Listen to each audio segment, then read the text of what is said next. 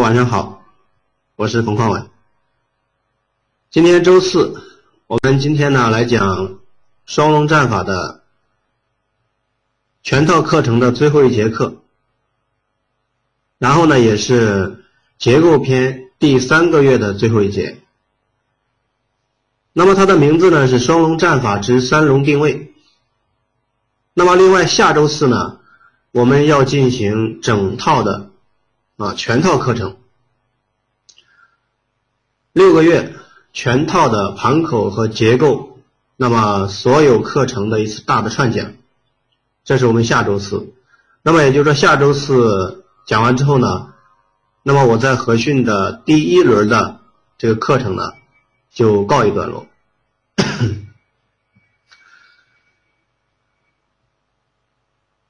那么这个呢，待会儿我们再抽时间。再谈。我们先来看今天的课件文档下方呢，嗯，是我们今天的课件如果课件找到，而且音质没有问题，那么大家打一个一。我们开始今天晚上的这个集中的授课。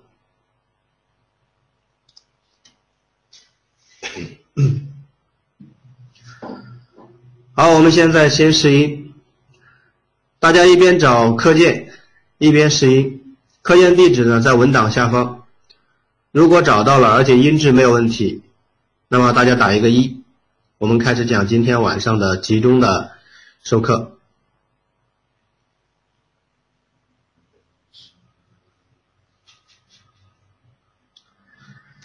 其实呢，这半年啊，六个月呢，这半年的时间呢。呃，一直以来呢，我个人对，尤其是第一批啊，第一批参加课程的同学呢，呃，非常的这个感动。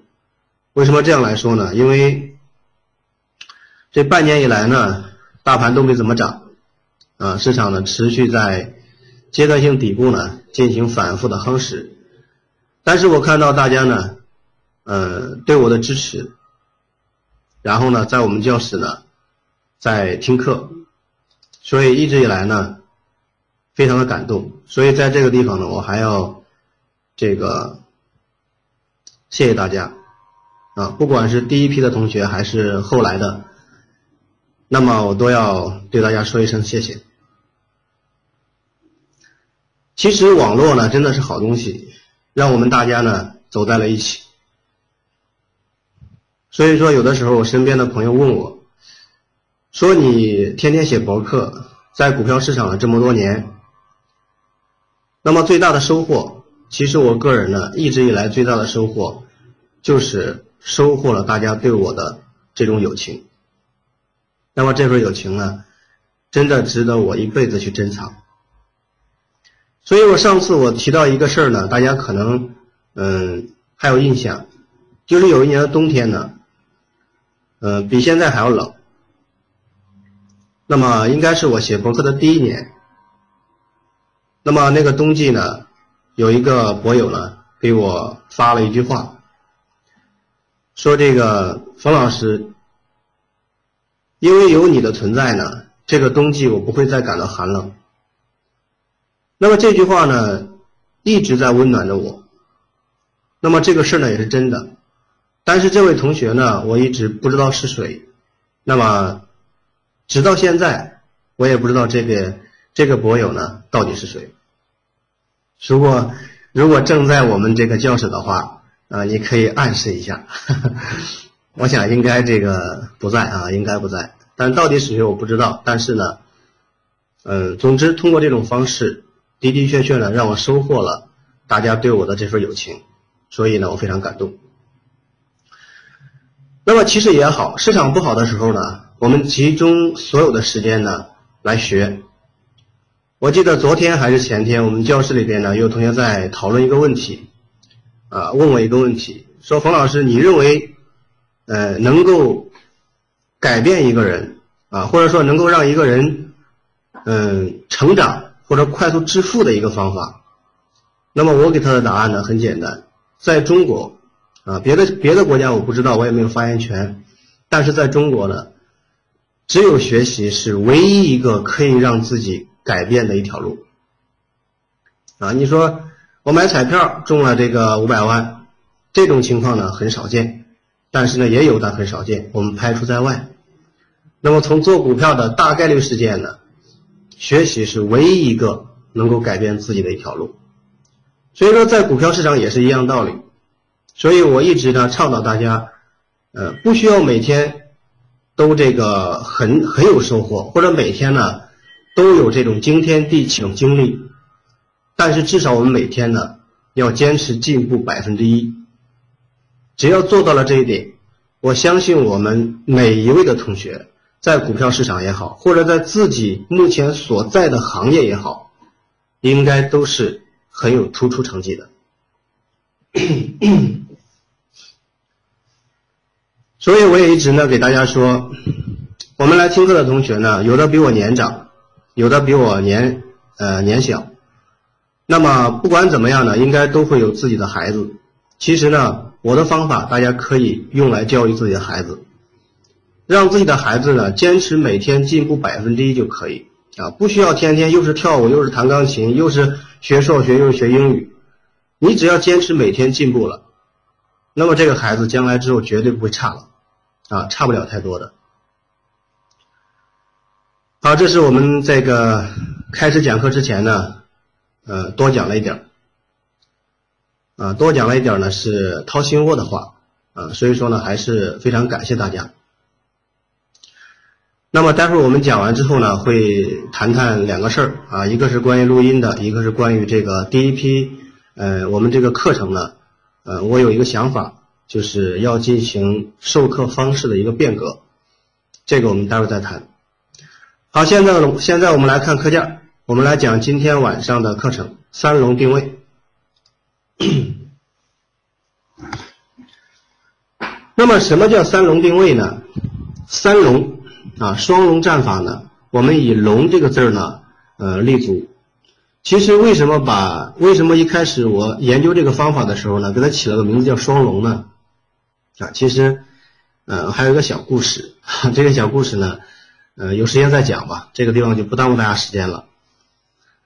龙呢，至少对我们来说，我们都是龙的传人啊。所以说我个人还是有点这个迷信啊，封建。那么双龙战法里边呢，所有的这个技术形态，我都把它和龙联系在了一起。那么这个三龙定位的基础，它其实就是结构线。啊，三龙定位的基础是结构线，但是它又不等同于结构线。啊，虽然是结构线，但又不等同于结构线，所以呢，它还有很大的一个区别。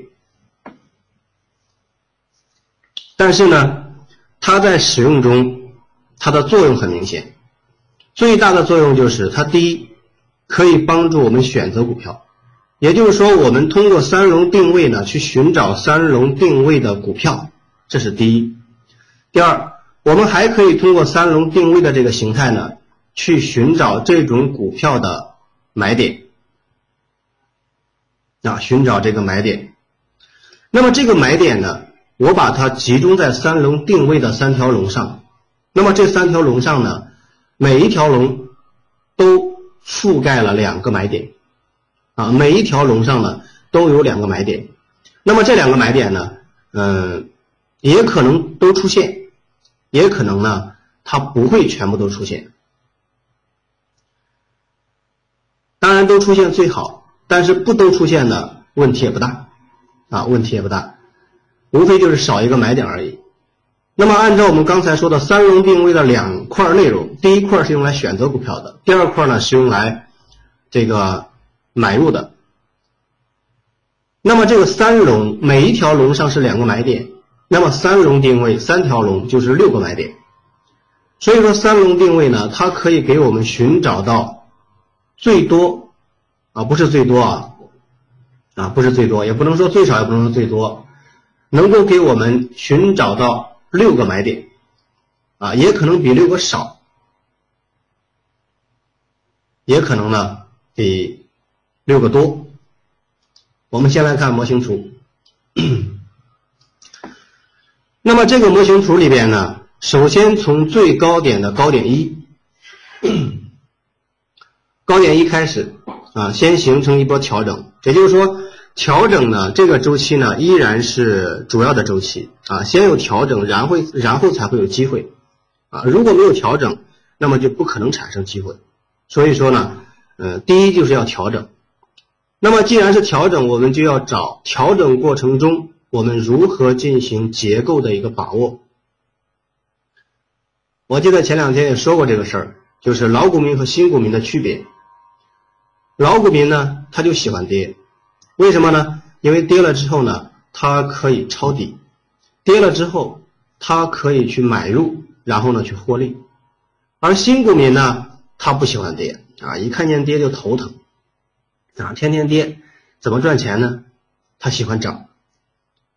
但是往往呢，新股民喜欢涨，往往会在涨的时候买在最高点上。老股民呢喜欢跌，就是为了下下跌之后呢寻找这个抄底点，所以这是完全不同的两个思维。那么我们这个技术呢，其实就是在下跌过程中去寻找底部的买入点。那么用三条龙把一波底部结构呢，它的这个结构的脉络，还有结构的买点。把它呢一一的定位出来。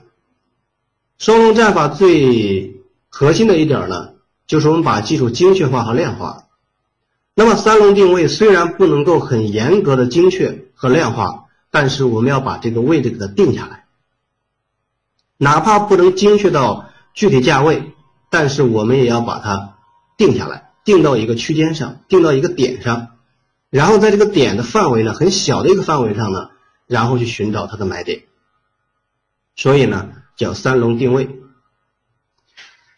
那么先来看第一波调整，也就是说我们先来看三条龙的第一条龙，第一条龙就是我们原则上最简单的这个结构线，位置一就是一波行情的最高点，位置二就是下跌波段的次高点，连接高点一。连接高点二这两个点呢，就构成了一条有方向的线。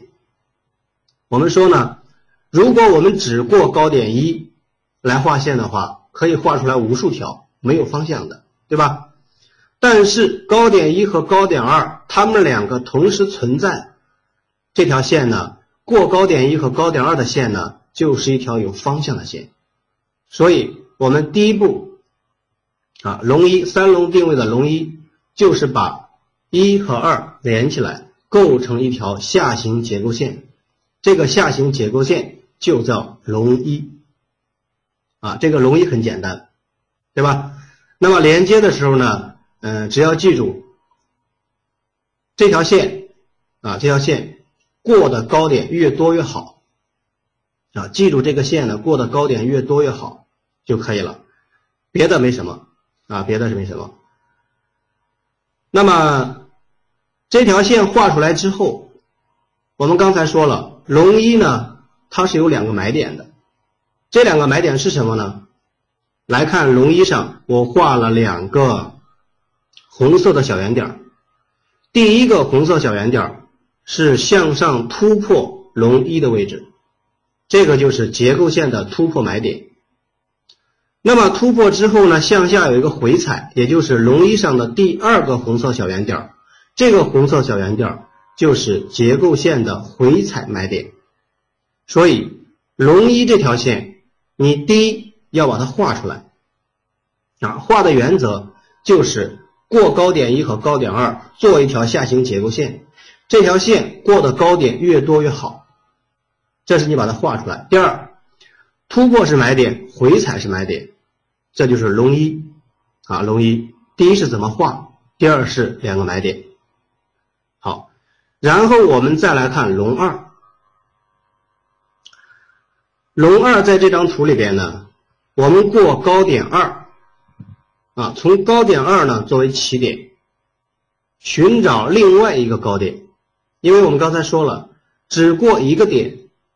你没有办法去画一个有方向的线，比如说高点二，对吧？你过高点二去画线，你可以画出来无数条，但是呢没有用。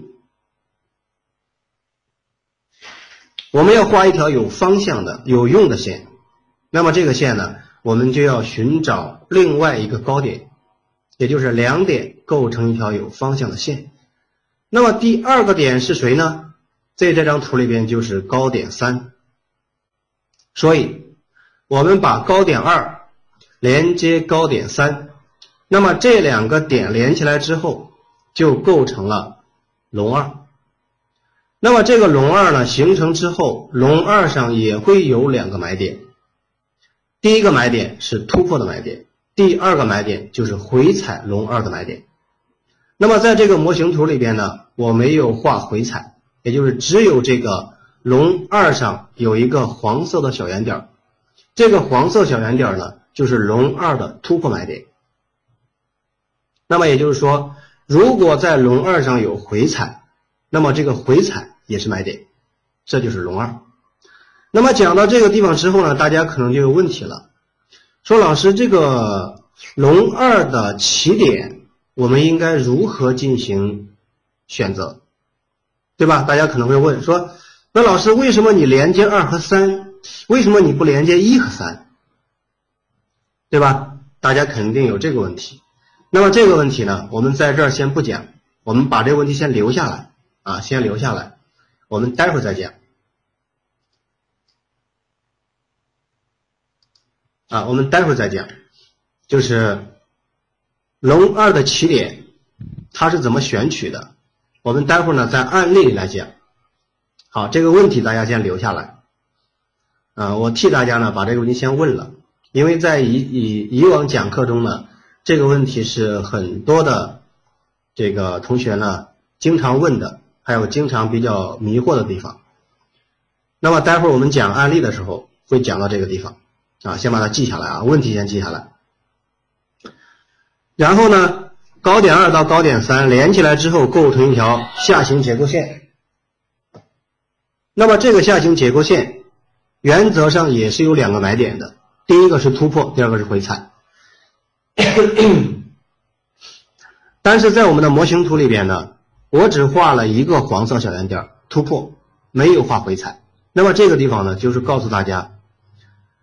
这个三龙定位的买入点呢，原则上是突破是买点，回踩也是买点，但但是不代表呢每一次都有回踩。这个回踩呢是做多动能不足，它需要进行动能的一个沉淀，所以它才有可能呢进行这个回踩。如果说它的动能比较强烈，那么它在反弹的时候呢，可能就不需要。这个动能的一个沉淀，那么可能是直接拉升，这也是完全有可能的。所以说这个回踩呢是可遇而不可求啊，出来了我们就用，不出来了我们就不管它。好，这张图里面呢就是二三连起来构成龙二，黄色小圆点是它的买入点。那么我们再来做龙三啊，再来看龙三。龙三是怎么来画的呢？龙三就是过高点三做一条水平线，啊，过高点三做一条水平线，那么这个水平线的突破点就是买入点。那么当然了，如果有回踩的话，这个回踩点也是买点。那么在这张图里边呢？位置四这个地方，我画了一个蓝色的小圆点这个蓝色小圆点就是龙三的突破买点，啊，就是龙三的突破买点。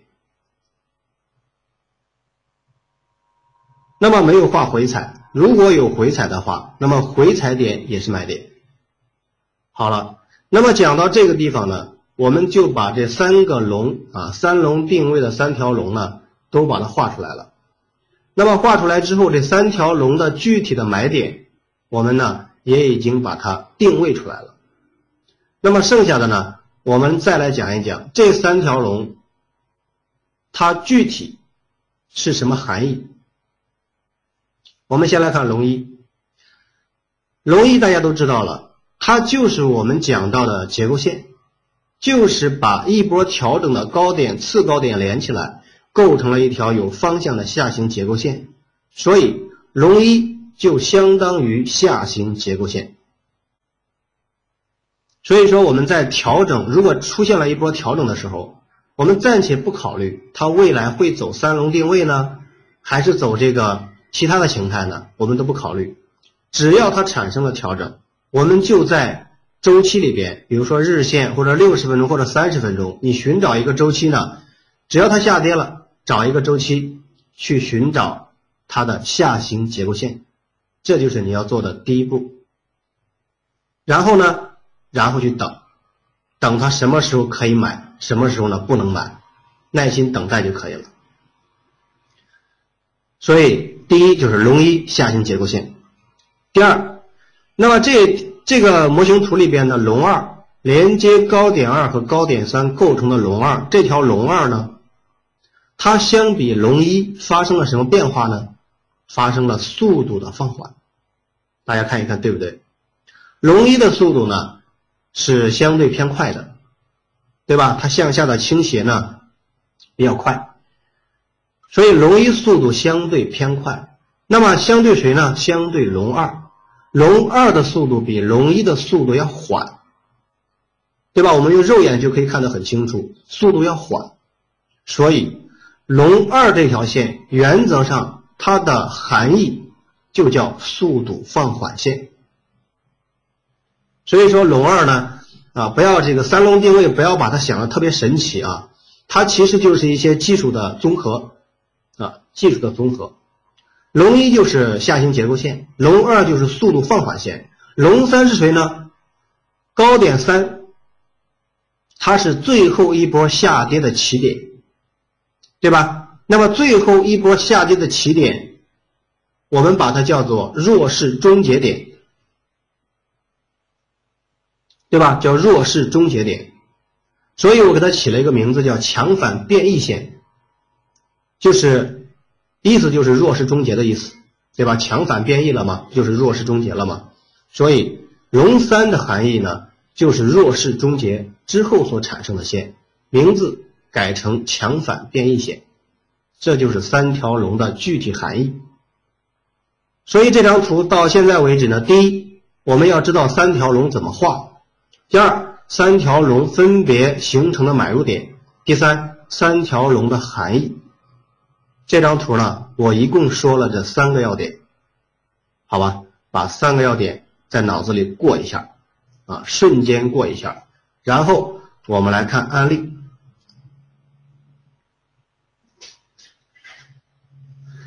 这是第一个案例。那么第一个案例呢，我们来看它是如何来运用的。也就是说，三龙定位呢，在实战的案例里边，它到底会有什么样的作用？首先，我们先寻找一波调整，高点一开始向下调整，高点二把它们两个连起来呢，构成一条有方向的这个下行结构线。那么高点三就是在下行结构线的位置呢，滞涨回落。也就是说呢，下行结构线一二的连线是有明显压力的，要不然高点三就突破了，啊，就突破了。所以说有明显的压力，所以龙一有明显的压力。那么我们刚才说了，龙一呢，它的突破是买点，它的回踩也是买点。那么在这个案例里边，龙一这条线只有位置四这个地方。我画的红色小圆圈的位置是一个买点，是突破买点，啊，是一个买点，是突破买点。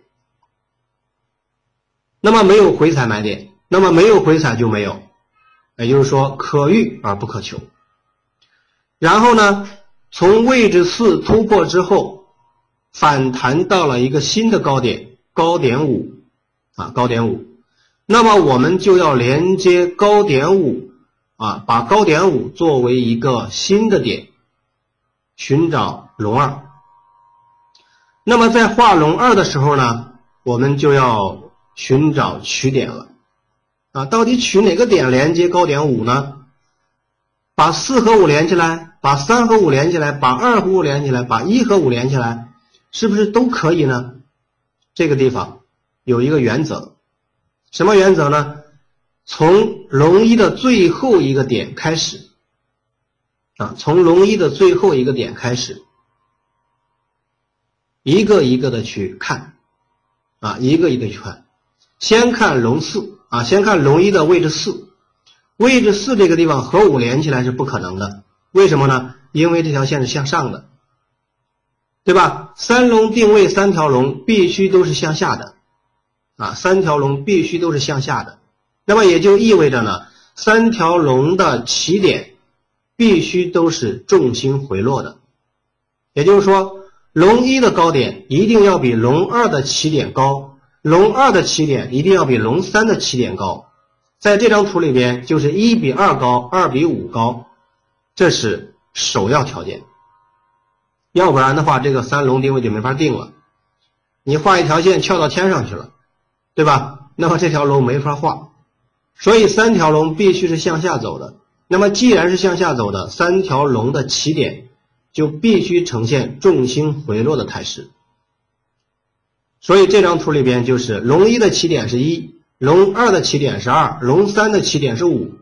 所以一比二高，二比五高，这是三龙定位的基本原则。那么我们把四和五连起来，很明显是不对的。三龙定位，这个龙是向上翘起来的，不对。那么连接五，连接三和五也不对，为什么呢？因为也是向上翘的。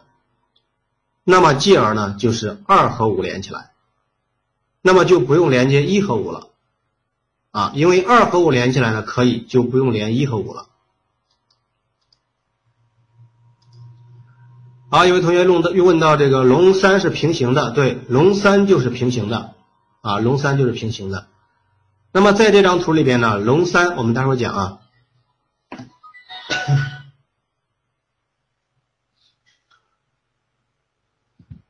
那么三条龙呢，先从四是啊，先从四，四连接五是不行的，对吧？向上，三和五连起来也不行，也是向上，所以我们只能连接二和五。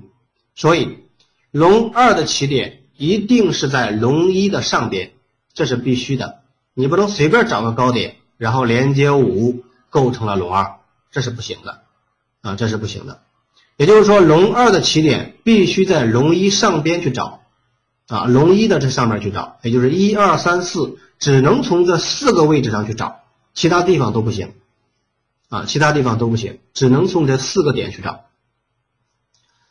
那么在这找的时候呢，从下向上来找，啊，从下向上去寻找一个。能够形成向下倾斜的下行结构线，向上翘的啊，或者说和五这个高点是平行的，这都不行啊，这都不行，必须高于五啊，这个点必须高于五。所以呢，这张图里边我们就连接高点二和高点五构成一条下行结构线。那么这个下行结构线呢，就是我们说的龙二，也就是说你在位置四买了之后。啊，位置四买了之后，我们要做一个动作，什么动作呢？就是我到底是等待龙二的成立，还是说我在四买了之后呢，呃，它不涨，反而下跌呢？我进行止损，对吧？龙一是我们第一先做出来的，然后到了位置四呢，我买了，买了之后后边怎么走我不知道，但是我可以做一个结构的一个预测。那么结构预测呢？两个方向，第一个方向涨形成龙二，第二个方向跌击穿三点三零止损啊，击穿三点三零止损。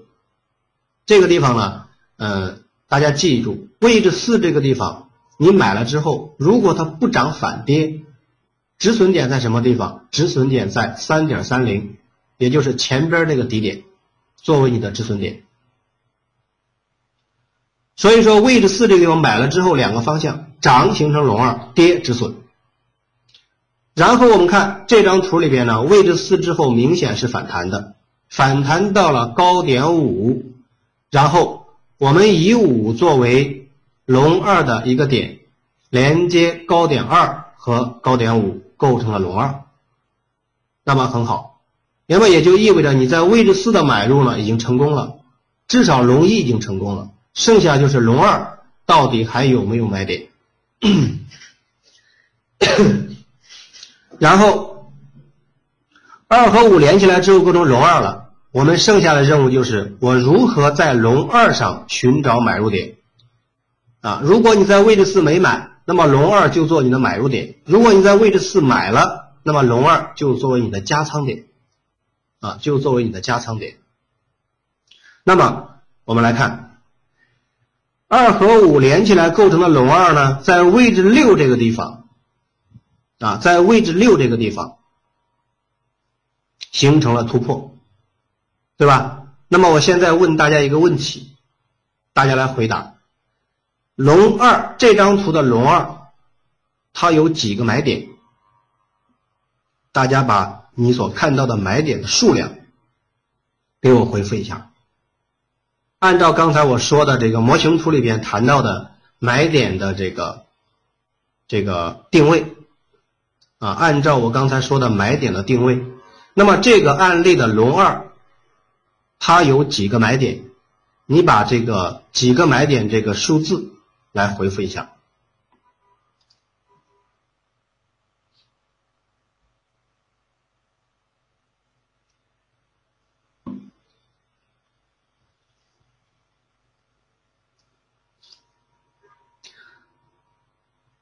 好，我们同学呢，这个看得很认真，但是呢有错的地方啊。我看到有同学说是两个啊，也有同学说是三个，还有同学说是五个。那么说三个的居多，说两个的次之，说五个的最少。那么少数服从多数，所以龙二呢，我们来看龙二这条龙呢。它一共是有三个买点啊，一共是有三个买点，也就是说呢，回复三的是正确的啊。现在又出来两个回复四的啊，四是不对的，也就是说两个的不对，四个的也不对，五个的也不对，三个是正确的。我们来看为什么，这个时候错了没关系啊，这个时候回答错没关系。我们来看，二和五连起来之后呢？构成的是龙二，按照刚才我们讲的模型图，龙二的突破是买点，龙二的回踩也是买点。那么在龙二的上边呢，一共有三个点是比较重要的，位置六这个地方是一次突破点，对吧？位置六这个地方是一次突破点，所以位置六就是所谓的突破买点，龙二的突破买点。那么突破之后呢，向上稍微的反弹了一下，然后向下来回踩，在六的旁边，大家清楚的、清晰的可以看到有两个红色的小圆点儿，啊，很小很小的小圆点儿。因为这个地方呢，它的这个线呢比较密集，我如果画圆圈的话呢，会影响大家的视线，所以呢，最终我把它设置成了小圆点儿。那么设置成小圆点儿之后呢，我们看得很清楚，在六的旁边有两个红色小圆点儿，而这两个红色小圆点儿都是突破龙二之后的回踩点，所以按照我们刚才讲的这个突破买点、回踩买点，那么龙二上边呢有三个买点，对吧？一个是突破的，一个两个是回踩的。好，有同学问到龙三啊，龙三还没开始讲呢，别着急啊啊，别着急。嗯，觉得我讲的慢的啊，这个大家就慢点听啊，讲的慢呢是为了大家能够都能够听得懂、听得明白。所以正在讲龙二呢，不要这个问龙三的事儿啊，待会儿讲龙三。那么刚才我们说龙二了。上面是有三个白点，六和两个红色小圆点。好，然后下边呢，我们再来看龙三啊，再来看龙三。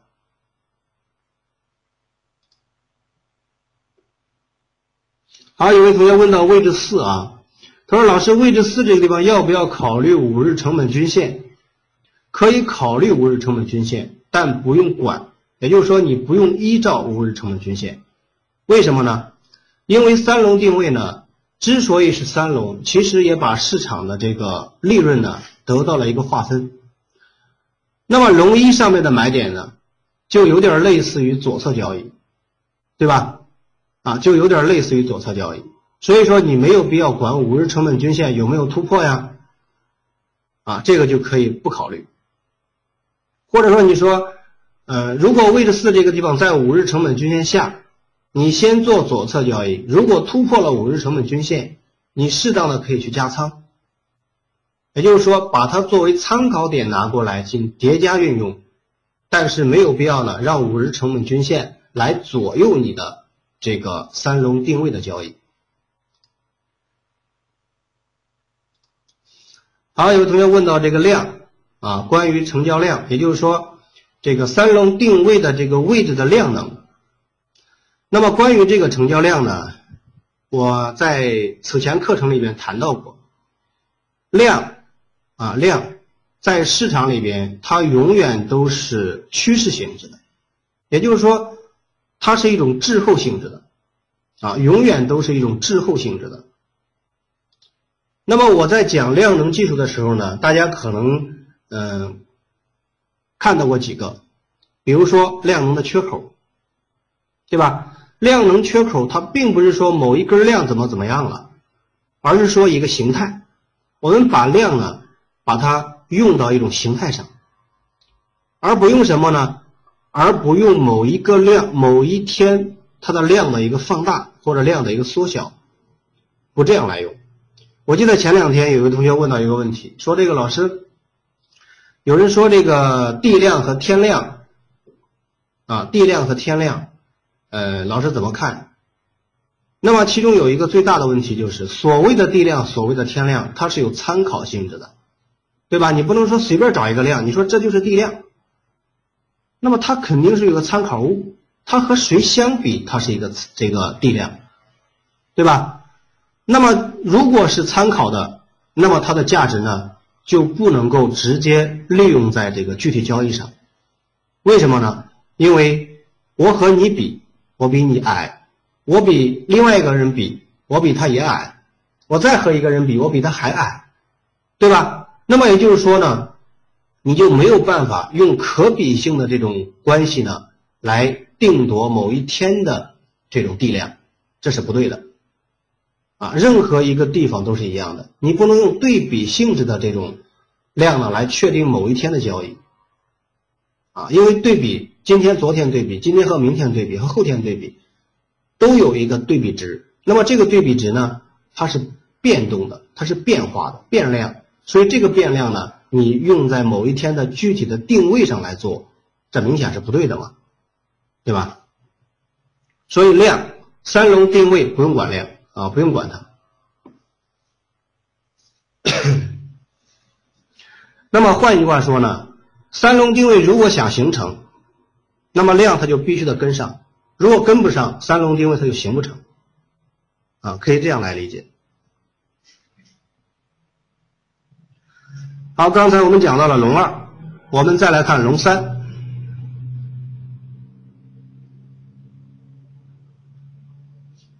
好，有位同学问到，龙二的线上是不是所有回踩点都是买点？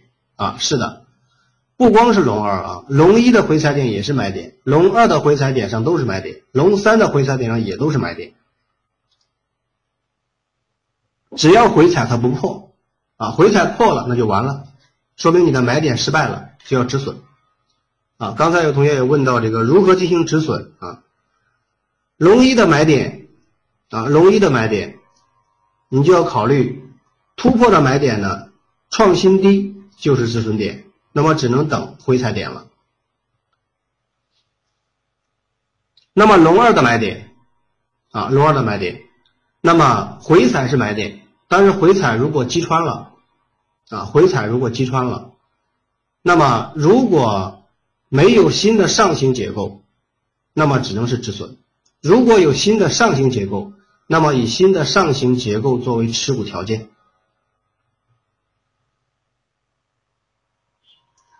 好，我们来看龙三，过高点五画一条水平线，这个水平线呢就是龙三。那么原则上呢，龙三不能突破。就是压力，啊，原则上龙三不突破，龙三就是压力，突破了那么龙三就是买点。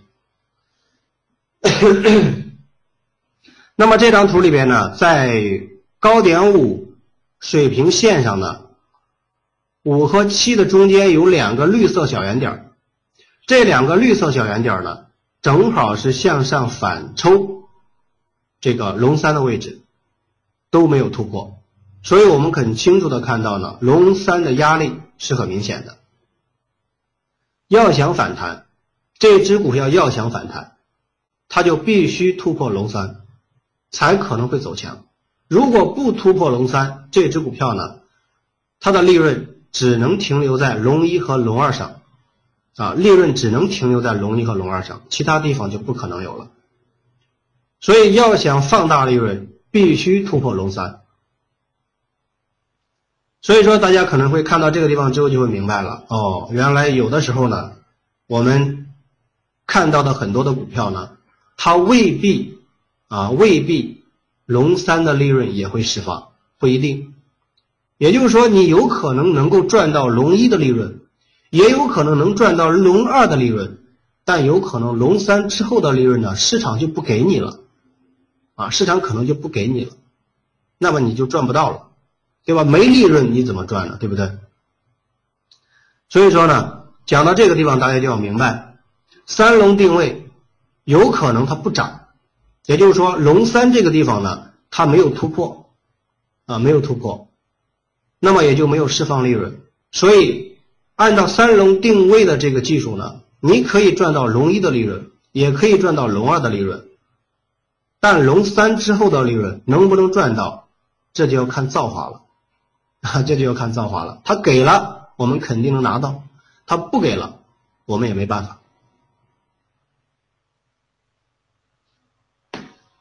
我们来看这张图，那么龙三位置七就是突破高点五的买点，那么突破之后呢，向下有个回踩，位置八正好就是回踩了龙三的支撑，啊，就是回踩了龙三支撑，那么位置八也是买点，所以这张图里边呢，龙三是有两个买入点的，一个是突破买点，一个是回踩买点。那么这只股票呢？我们从头到尾，我们来看一看它到底有几个买点。龙一上边位置四是买点，龙二上面位置六和两个红色小圆点是买点，龙三上面位置七和位置八是买点。那么基本上是一二三四五六，有六个买入点。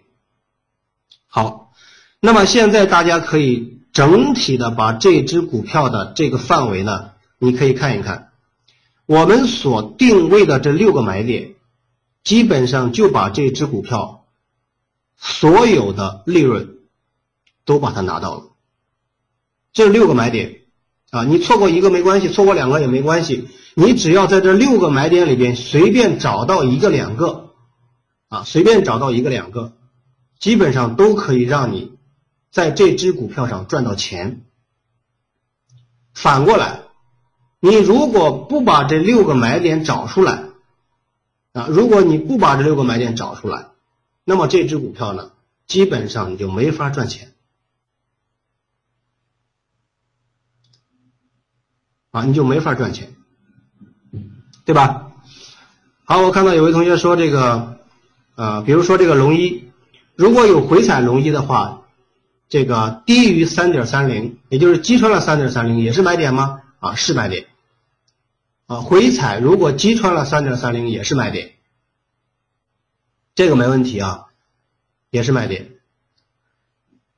好，我们接着刚才说的，就这个图里边呢，我们纵观这六个买点，大家可以细一细数一数，啊，仔细数一数，位置四这个地方买点，买了之后到位置五，这是一小波利润，位置六。和旁边的红色小圆点，这三个买点构成了六到七的这一波的反弹利润，位置八构成了后边的反弹利润。如果说我们把这六个买点把它去掉，好了，这只股票你没法做了。为什么？因为三龙定位基本上就把这只股票所有的利润。全部给它定下来了。什么地方产生什么样的利润，什么地方能够买，什么地方不能买，那么这六个点都把它牢牢的定在板子上。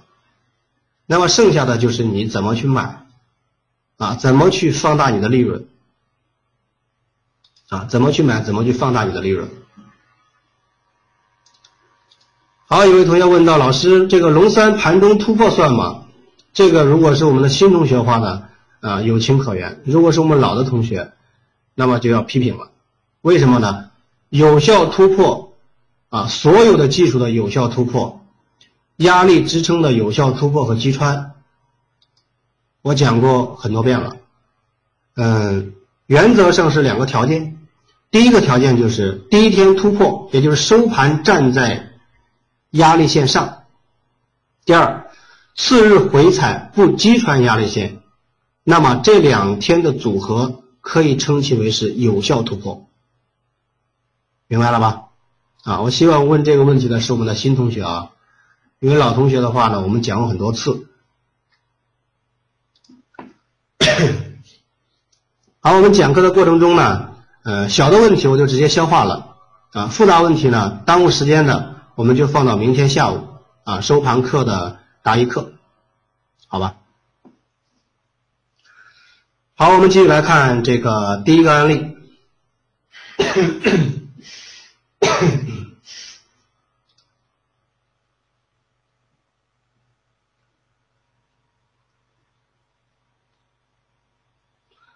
好，有位同学问到这个老师，龙一的回踩点如果低于了。三点三零，他说的就是这个案例啊。就以这个案例，如果低于三点三零，回踩了龙一，那么也是买点的话，那么它就不是下降通道了吗？是下降通道，但你忘了刚才我说的一句话啊！但你忘了我刚才说的一句话，位置四这个地方，包括位置四或者是回踩点，都是左侧交易。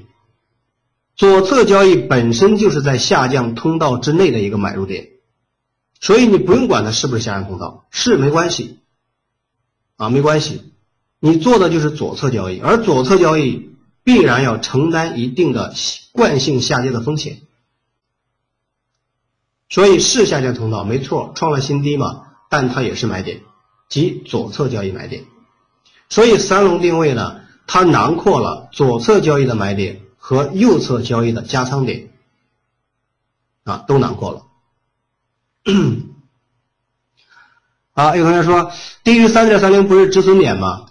低于三点三零，如果说你在位置四买了，击穿了三点三零止损，这是必须的啊，这是必须的。为什么？还是因为位置四是左侧交易，所以必须啊，是必须。然后它如果。你止损完了之后，回踩在龙一上，在龙一的附近重新止跌了，重新进行新的左侧交易，啊，重新进行新的左侧交易，这个地方呢是必须要严格这样来做的，啊，必须严格这样来做的，这就是左侧交易的一个特点。那么我们此前在前一段时间的时候特别讲到过这一点，左侧交易者切记不要把牢底坐穿。啊，切记不要把牢底坐穿。左侧交易，你只要有风险了，就要及时的止损，等待新的进场点，哪怕说你的止损点和这个新的买点差不了多远，那也要止损，重新等待新的买入点。有的人老师为什么呢？因为你并不知道真正的大底到底在哪里。啊，并不知道真正的最低点到底在哪里。从我们这一波漫长深度调整这一波下来，你可以想一想，任何一次的左侧交易成功的会有几个？如果不及时止损，啊，如果不及时止损，那么失败的会让自己变得很惨痛。当然，最后肯定有一次会是成功的。但是不能侥幸，啊，不能侥幸，所以做左侧交易就必须要承担左侧交易的这种规则，啊，严格遵守左侧交易的规则，所以你总不能冒风险啊，不能这样去冒风险。所以这个地方呢，大家要理解。然后我们下周四串讲课程的时候呢，呃，我会围绕两个主线来讲。那么其中一个主线呢，就是左侧交易加右侧交易的这个呃这个主线。那么围绕这个主线呢，我会把左侧交易的一些技术、右侧交易的一些技术、精确交易的技一些技术呢，把它罗列出来，作为给大家的一个串讲。这是下节课呢，我已经准备好的一个思路。所以这个地方呢，嗯，对于左侧交易、右侧交易不理解的，没关系啊，没关系，别着急。好，这是关于这个第一个案例啊，第一个案例。那么大家的问题呢？呃，也进行了一些消化。我们再来看第二个。有的人说大利润在龙三的后边啊，说的没错。三龙定位呢，这三条龙它分别都可以给我们带来利润。其实呢，呃，它最重要的就是如何脱离底部啊，如何脱离底部。先从龙一上脱离，再从龙二上脱离，再从龙三上脱离。所以慢慢的呢。把这个底部就脱离了。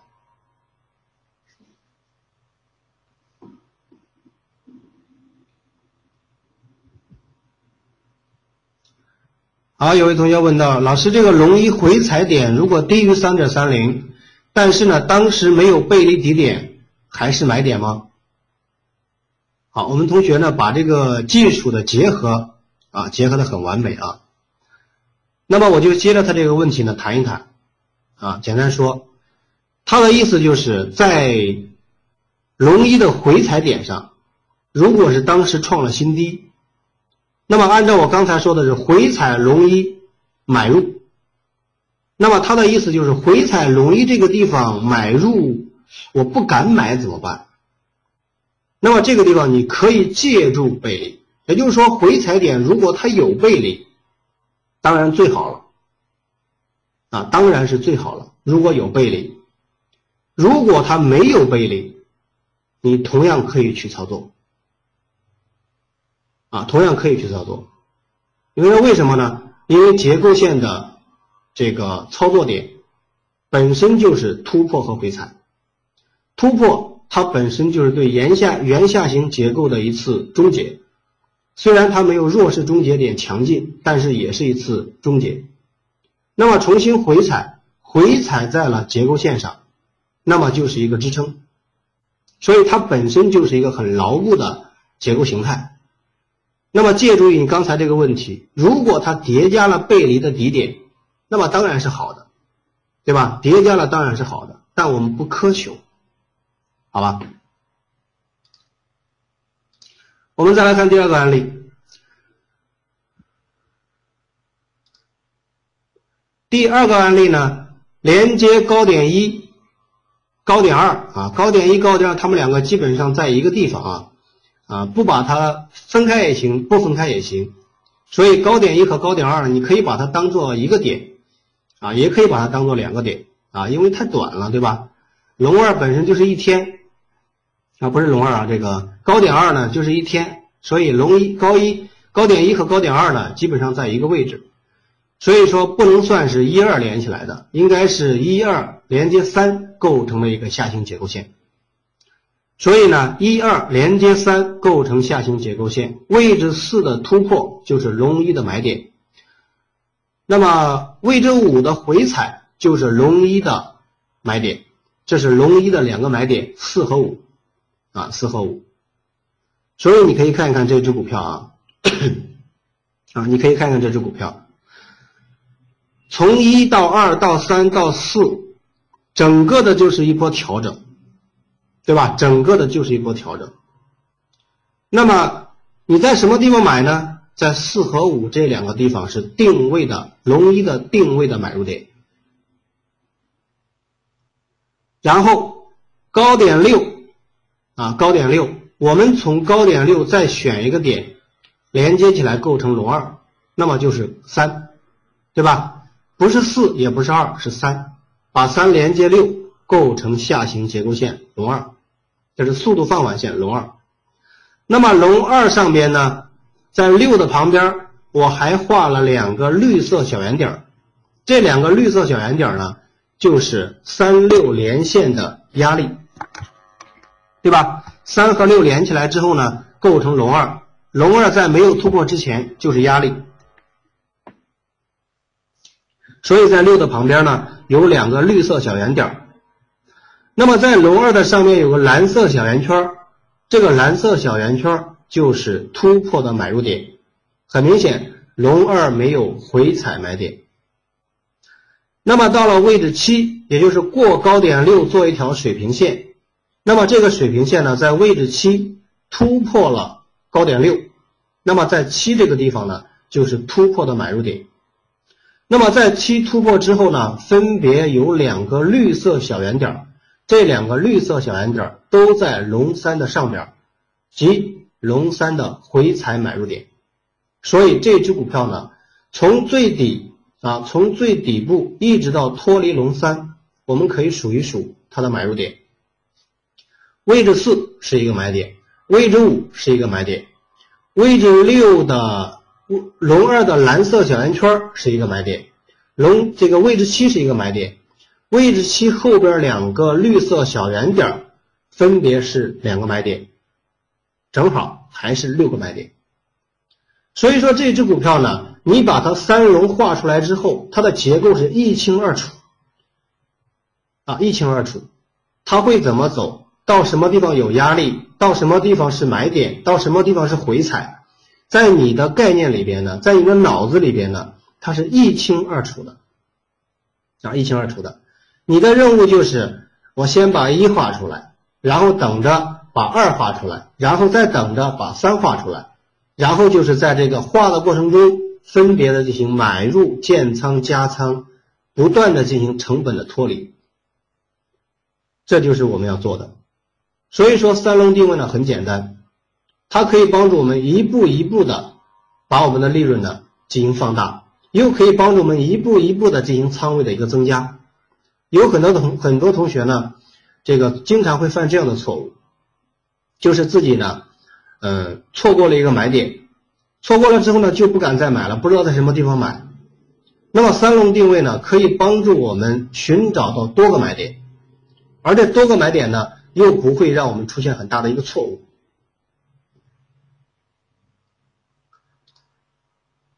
好，我们再来看一个周线图，还是三龙定位呢？我们把它放在周线里边，我们来看一看有没有可行性。那么在周线里边呢，因为一一根 K 线就是一周啊，一根 K 线就是一周，所以呢它跨度比较大。那么不建议大家呢在周线里用啊，不建议在周线里用。为什么呢？因为它的时间跨度太大。但是呢，我的意思是它在各个周期都是可以用的。我们来看一下，连接高点一和高点二构成一条下行结构线，也就是龙一，高点三。也就是反抽龙一而没有过，这就是压力。到了位置四是龙一的突破买点，那么到了位置五是龙一的回踩买点。所以龙一的这条线呢，它的突破和回踩是非常完美的。然后到了高点六，如果连接三和六的话，好像是平行的，对吧？好像是平行的，所以不行。那么只能连接二和六。那么二和六连起来之后构成龙二，那么龙二在位置七这个地方的突破就是龙二的买点。那么过高点六做一条水平线，在位置七这个地方突破呢，作为龙三的买点。所以龙二和龙三的买点呢，基本上在一个位置。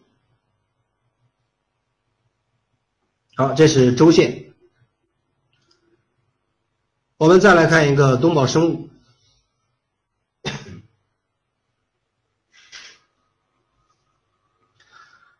这个东宝生物呢，它在运行的过程中和刚才呢，嗯，它的买点呢发生了一些变化。我们来看，高点一连接高点二，构成了龙一，也就是下行结构线。好，有位同学说，老师龙有时候龙一的线比较难画，画不出来。这个地方呢，就有点赶鸭子上架。什么意思呢？这个大家学了一个技术之后呢，啊，不光是大家啊，在我以往授课的时候呢，也有出现过这种情况的，就是大家呢学了一个技术之后，总是想着，嗯，让自己的股票呢，让它变成三龙定位，或者说让它变成三个连跌，让它变成强这个呃弱势终结，让它变成什么什么什么，大家会出现一个误区。这个误区就是总是刻意的啊，刻意的让自己的股票呢，让自己找的股票呢，让它变成这个三龙定位，或者变成什么什么，这思路是错误的啊，思路是错误的。你不能够拿一只股票，非要让它非要让它画出来一个三龙定位，它明明画不出来，你非要给它画出来一个，最后尽管你画出来了。它也是很很别扭的，看起来也是很别扭的，那么操作起来肯定是不行的，明白了吧？你要反过来啊，反过来，也就是说，你的股票呢，你一定要灵活的根据股票的变化而变化。你的股票能够画出来线，你就用线；你的股票画不出来线，你就不用线，对吧？我们讲过很多的技术呢，并不是只有这一个技术，必须画一条线，画不出来线就做不了了，不是这样的，对吧？所以说呢，它是什么，你就怎么来做，而不是说它，而不是说我要这么来做，我必须让它变成什么，肯这肯定这个顺序就错了，对吧？所以这个地方大家要明白啊，画不出来就不画了呗。好，有同学问到，老师，经过高点三做一条水平，是不是也是一个压力？对，啊对，三条龙任何一条龙都是压力，没有突破之前都是压力，只有突破了才是买点。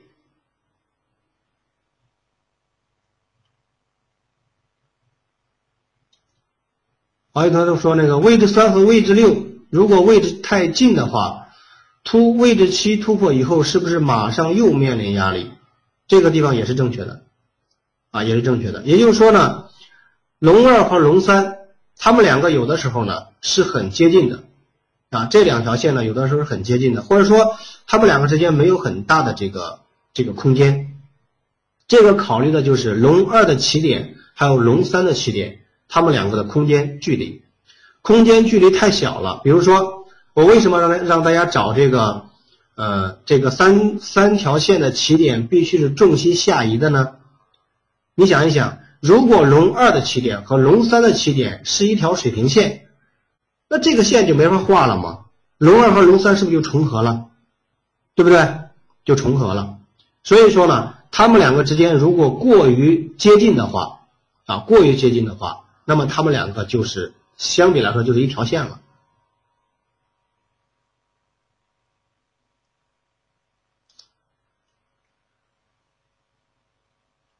好，有位同学就问到这个问题了，说老师为什么不是三和六连起来？很简单，三和六连起来，你看一看，基本上是趋平的，啊，基本上是趋平的。也就是说呢，刚才我们回答那位同学的问题，三和六它俩高点如果是水平在一起的，那么三和六连起来过高点六的水平线，那不就是一条线吗？对吧？所以。它尽可能是向上来脱离高点六的，它们之间要有一定的价差，这个才好。好，我们来看高点一连接高点二，过高点三和高点四，所以呢，龙一的压力在三和四这两个高点上呢，充分体现出来了。那么到了位置五这个地方呢，突破就是买点，没有回踩买点，所以龙一上有一个买点。那么在位置五这个地方买了之后，等等什么？等两个方向。第一，等龙二会不会出现？第二，等会不会击穿六点六一我止损？就这两个方向，对吧？那么你在位置五买了之后啊，位置五这个地方你什么都不用管啊，什么都不用管。你说老师没量啊，你老师没有背离啊，什么什么呀？什么都不用管它。位置五只要出现了啊，位置五只要出现了，你就去买。买了之后干嘛呢？等待两个方向，第一个方向涨形成龙二，第二个方向就是跌止损，就这两个思路，那么他说了，那我怎么操作呢？很简单，位置五买了之后涨了，你就肯定赚钱了。至于说未来的利润空间有多大，我不得而知。但如果它跌了，你的风险是非常小的。为什么？六点六一，刚才我们说的是铁定止损点，啊，铁定止损点，什么都不考虑，必须止损，哪怕止止损之后又形成了买点，也要止损，重新买就行了。所以说呢，在位置五这个地方买了之后，你面临的是利润无限大，损失只有到六点六一这一点空间，啊，只有这一点空间。所以说，在位置五这个地方。很多的交易者说：“老师，我不敢买呀，我提高不了自己的执行力呀。”那么今天我就告诉大家，执行力是怎么来的？执行力是你对未来的方向是有很清楚的路线，对未来的方向是有很明确的操作策略，你的执行力才能够得得到一个提高。位置五你不敢买，为什么不敢买？你怕会向下走，对吧？你怕会向下走。那么这是第一条路线。但是你忽略了第二条路线，就是三龙定位的第二条路线往上走。那么如果在位置五这个地方，你清楚了两个路线，第一是向上走三龙定位，第二是向下击穿六点六一，那么对你来说，两利取其重，两害取其轻。涨了利润无限大，跌了你的损失只有在未知五到六点六一这几毛钱的利润。几毛钱的亏损，对吧？你只有这一点在亏损，你怕什么呢？所以说，有的时候大家这个执行力不能得到提高的原因呢，不在于说，嗯，这个什么技术没有掌握呀，或怎么样啊，而是你对于这个结构的脉络呢，把握的并不全，啊，把握的并不全。你比如说，就这个案例，对吧？啊，就这个案例，位置五这个地方。到底买还是不买呢？那么你首先要确定位置五这个位置出现之后，后边到底会怎么走？你要给自己设定一个方向。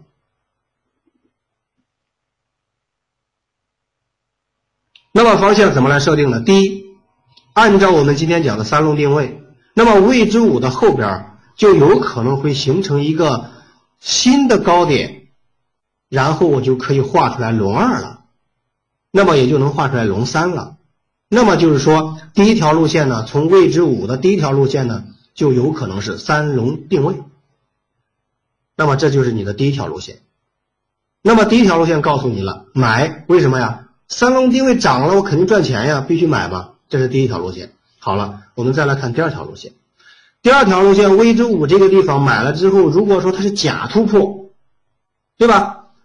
假突破，突破龙一是一个假突破。突破之后又下来了，而且又创了新低了。好，创了新低，往下走这个路线，在六点六一的新低击穿的位置，你进行止损啊，你进止损，那么你就会发现了，哦，第二条路线我的损失只有未知五到六点六一这几毛钱的损失，那么我买还是不买呢？答案是买，对吧？因为损失很小，也就是说，我们我们在做一件事，创业是也是一样的，对吧？我们去做一件事，这个事呢，我在呃，我朋友告诉我了，说，哎，说老冯啊，我们来一一块做个事吧，做一个投资。然后我拿过来一看，这个事儿呢，如果我做了啊，如果我做了，未来的这个这个利润点在什么地方，我很清楚。如果我不做啊，如果我做了，我的损失点在什么地方？一看损失就是。投资一百万，损失二十万，最多损失二十万，但赚的时候呢，可能赚好几百万，那这事必须做呀，对不对？啊，必须做。所以位置五这个地方，两利取其重，两害取其轻，答案是买。买了之后等它怎么走？哎，我们一看买了之后涨了，涨了不就挺好吗？挺高兴吗？好了，涨到了位置六，好。到了高点六之后，我们重新连接，连接五不行，连接四不行，连接三不行，连接六，连接二，对吧？连接二构成了一条新的下行结构线龙二。那么龙二连起来之后呢，在六的旁边，我画了一个绿色小圆点。这个绿色小圆点的这个地方呢，就是龙二的压力啊，就是龙二的压力。所以说，刚才有同学问到，老师，这个龙三是不是就是压力啊？三条线全都是压力，在它没有突破之前，全都是压力。只有突破了，才是这个买点。这个地方也解释了，刚才有同学说，老师为什么不看量呢？你为什么要看量呢？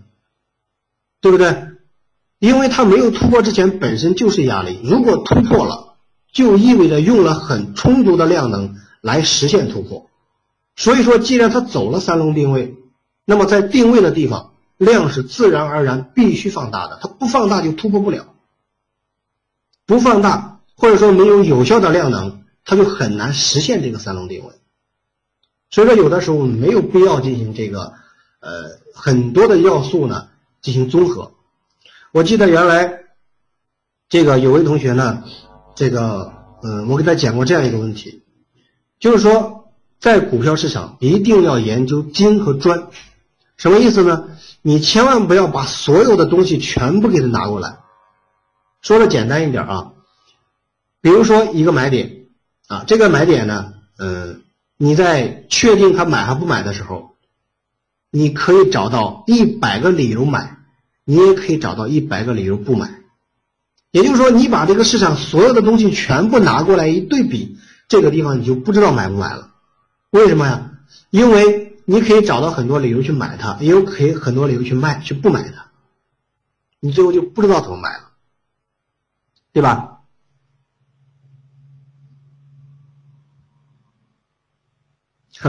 有个同学问到这样一个问题啊，我发现大家的问题问的很有意思。他说：“老师，这个龙一这个回踩龙一的时候，价格如果恰恰恰恰是六点六一怎么办？” 啊，这同这个我们说这个突破的时候买点，回踩的时候买点。然后呢，我们同学又问了：如果回踩这个地方正好就是前面低点，那不就是双底吗？对不对？你又把这个双底给忽略掉了，那不就是双底吗？那你还怕什么呢？双底本身就是结构的一个形态，传统结构的一个形态，无非就是说你用在这个买点上是用背离来加强了，还是用双底来加强了，还是用什么来加强了？这不就是这个问题吗？对吧？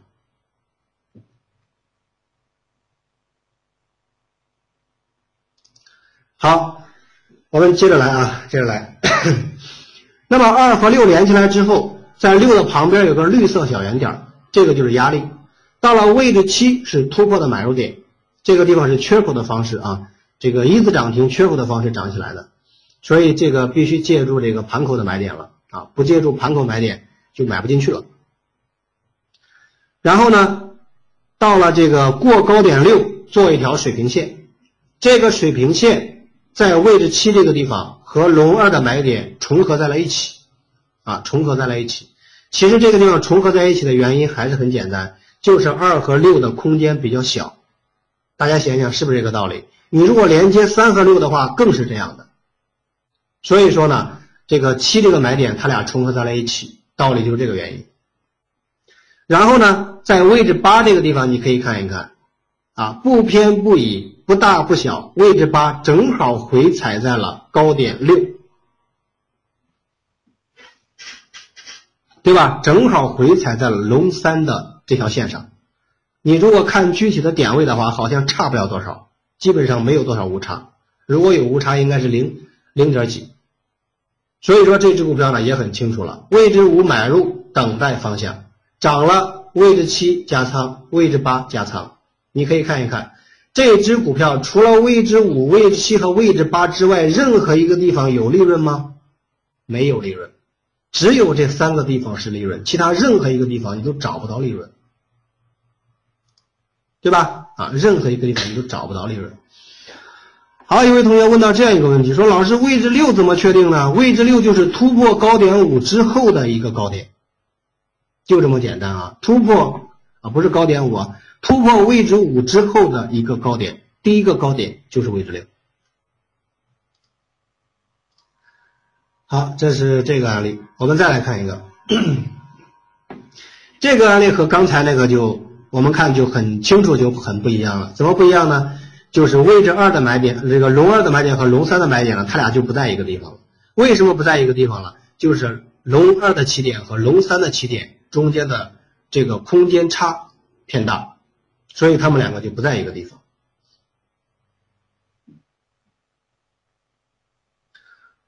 好，有位同学说，老师突破龙三之后就肯定往上走吗？答案是否定的，不一定啊，不一定。那么突破龙三之后，如果它不往上走，如果向下了，这个地方就不要考虑这个龙二和龙一了。什么意思呢？如果它走到了龙三的位置，也就意味着新的上行结构线你已经可以做出来了。所以还是这个道理，大家在用一个技术的时候，不要扔掉一个技术。三龙定位。三条龙定出来了一个结构形态，但是你完全可以怎么样呢？在三龙定位的这个环节里边去做新的上行结构线，也就是说，如果走到了龙三而突破没有涨，你的持股条件就是新的上行结构线，这个技术不要忘了，明白了吧？所以你说等到龙二被击穿，龙一被击穿，那就。那你就没利润了，利润全部缩水了。用新的上行结构线做持股条件。好，有同学说，老师突破龙三之后又回踩龙二，那么他的意思就是击穿了龙三，那就不对了啊，那就不对了。击穿龙三就有可能会挑战你的持股条件，可能会击穿你的持股条件。另外呢，这个我们同学有做股指期货的，我特别提醒啊，三龙定位做股指期货非常的舒服啊，非常的舒服，尤其是在五只这个股指期货五分钟线里边会做的非常非常舒服。啊，我只说这一点，所以做股指期货的认真听啊，认真听，在五分钟周期里边用三龙定位会做的非常非常舒服，为什么？因为你会发现可以连着做，好，就说这么多啊！因为我们同学大多是做股票的啊。好，我们来看这个案例，柯达股份，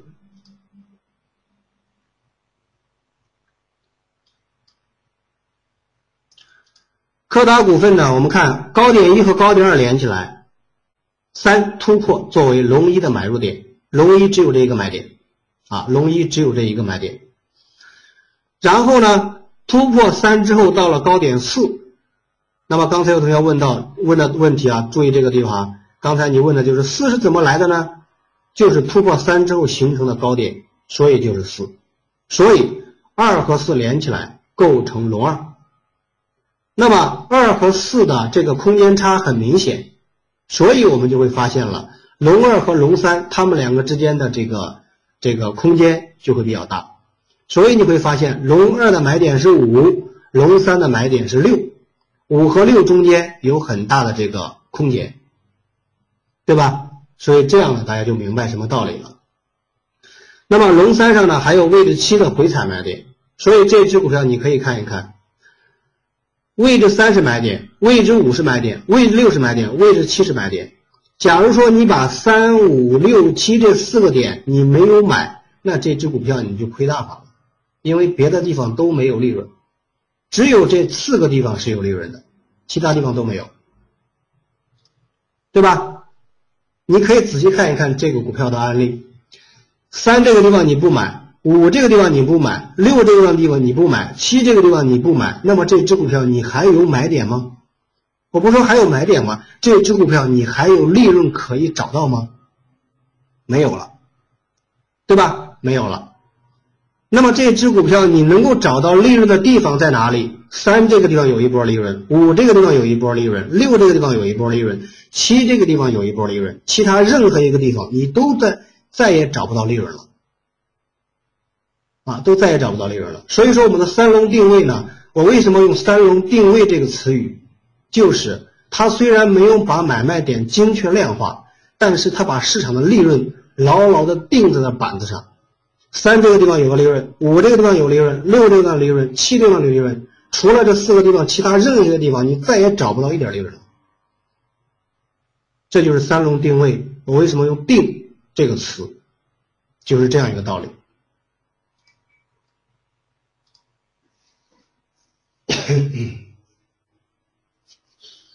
好，有同学问到这样一个问题，说老师位置四我要减仓吗？位置四这个地方你可以进行成本修复啊，成本修复什么意思呢？比如说你在位置三买了，到高点四的时候，如果位置四这个地方你可以做到盘口的这个精确的买卖，你在位置四这个地方可以减仓，但是到位置五这个地方你还要再买回来。所以你要看自己有没有这个能力，如果有这个技术，那么位置四减仓，位置五重新加仓，干嘛呢？进行成本的修复，对吧？位置四一卖，位置四一位置五一买，那么你就完成了一个价差，当然很完美。但我的问题就是，你在位置四和位置五能不能把这个价差做出来？你做出来了，那就行；做不出来，那位置四你就不要买。位置四你就不要买，好吧？好，这是这个案例。好了，我们今天讲的第一个技术讲完了，下边讲第二个，叫神龙饮水。好，我们讲第二个技术叫神龙饮水。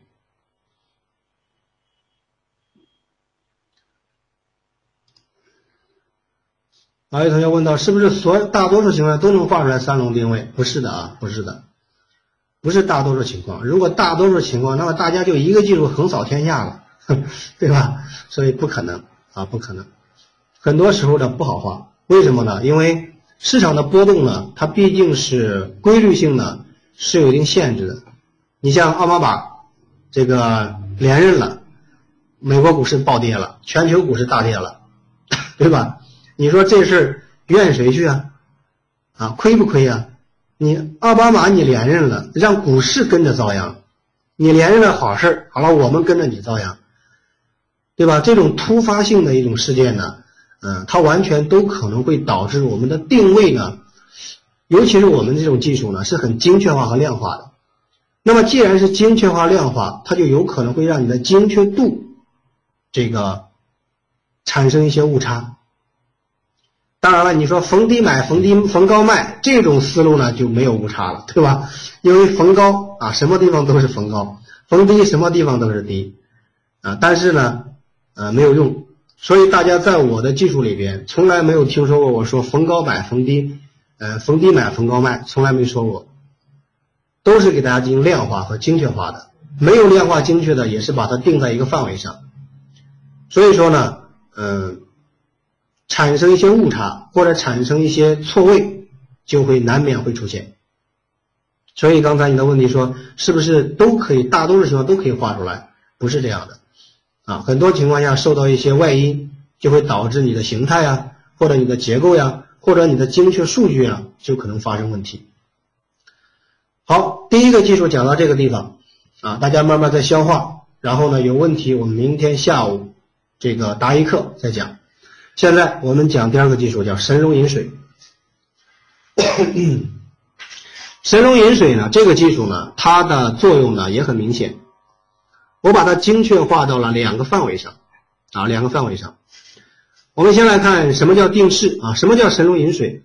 第一，先是一波上涨，确定涨势，啊，先是一波上涨来确定涨势。好，有位同学问到这个还没有讲龙二起点的选择问题，是你刚来呢，还是我没讲清楚呢？龙二的起点的选择，刚才我们说过了，这个点必须在龙一龙一的上边去找，这是第一个原则。第二个原则，从龙一的下边的高点开始往上找，一个一个来找，啊，一个一个来找，连接这个，嗯，连接新的高点。这个新的这个线，龙二这条线绝对不能是向上翘的，一定是向下来的，啊，一定是向下来的。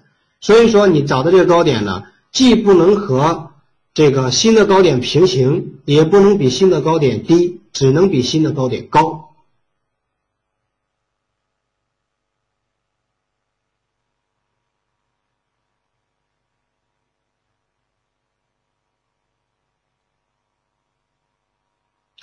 然后他说：“这个不是为什么是二，不是一，没太明白你的意思啊。这个问题没太明白你的意思，你可以把你的这个意思再表达清楚一些。嗯，如果没时间的话，明天下午来讲，好吧？我们先来讲第二个技术，神龙饮水。首先是一波上涨来确定涨势。刚才我们说了，必须是有一波调整。这个地方我们说必须有一波上涨，这个先要明白啊，先要上涨。上涨干嘛呢？确定涨势，其实就是为了脱离底部成本，对吧？啊，先要脱离底部成本，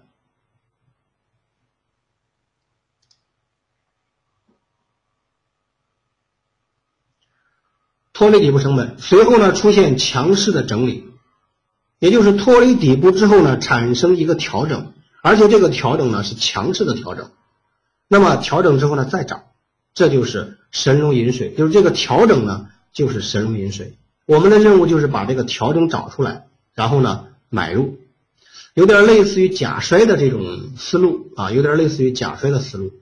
我们来看一下它的要求，第一个要求。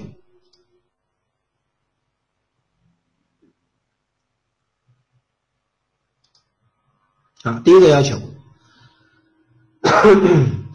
采取连涨、跳空这种方式呢，来脱离底部成本，啊，来脱离底部成本。那么脱离底部成本呢，它的作用是用来逼空的，啊，用来逼空，就是实现逼空的效果，然后呢，脱离底部成本。那么采取的这个这个幅度要求呢，量化要求呢，超过百分之二十就可以。但是不能超过太多，也就是说，刚刚超过百分之二十就可以了。如果两天连续涨停最好。那么定市的过程呢？每天的换手在百分之五以上，百分之十以上更好。也就是定市的过程呢，比如说三天，那么三天的换手率呢，每一天都要在百分之五以上，百分之十是更好的。第三，价格和流动盘呢，遵循价低而盘小的原则，三个亿十六元以下。但是这个地方呢，我特别提醒一下，并不是说大于三个亿的、大于十六元的就不会涨，啊，不是这样的，只不过难度大了而已，它也会涨啊，也会涨。第四个，尽量选择一波调整之后的第一波反弹，也就是底部的第一波反弹。最后一个是具备热点效应最好。好，我把要点呢集中在了四个点上。第一，脱离底部后的第一次调整，这就是神龙饮水的过程。第二，调整幅度尽量超过百分之三，也就是调整这一天呢最好超过百分之三，最好是当天完成。如果不是当天完成，可以算上前一天的这个最高点，啊，从前一天的最高点开始算也是可以的。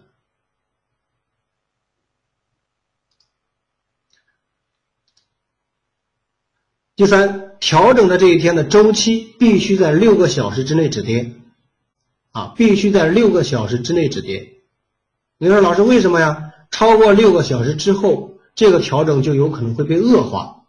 那么也就是说，脱离底部之后的调整可能就不是简单的回踩了，就有可能是真的要调整了。也就是说，这只股票呢，并不具备拉升的条件。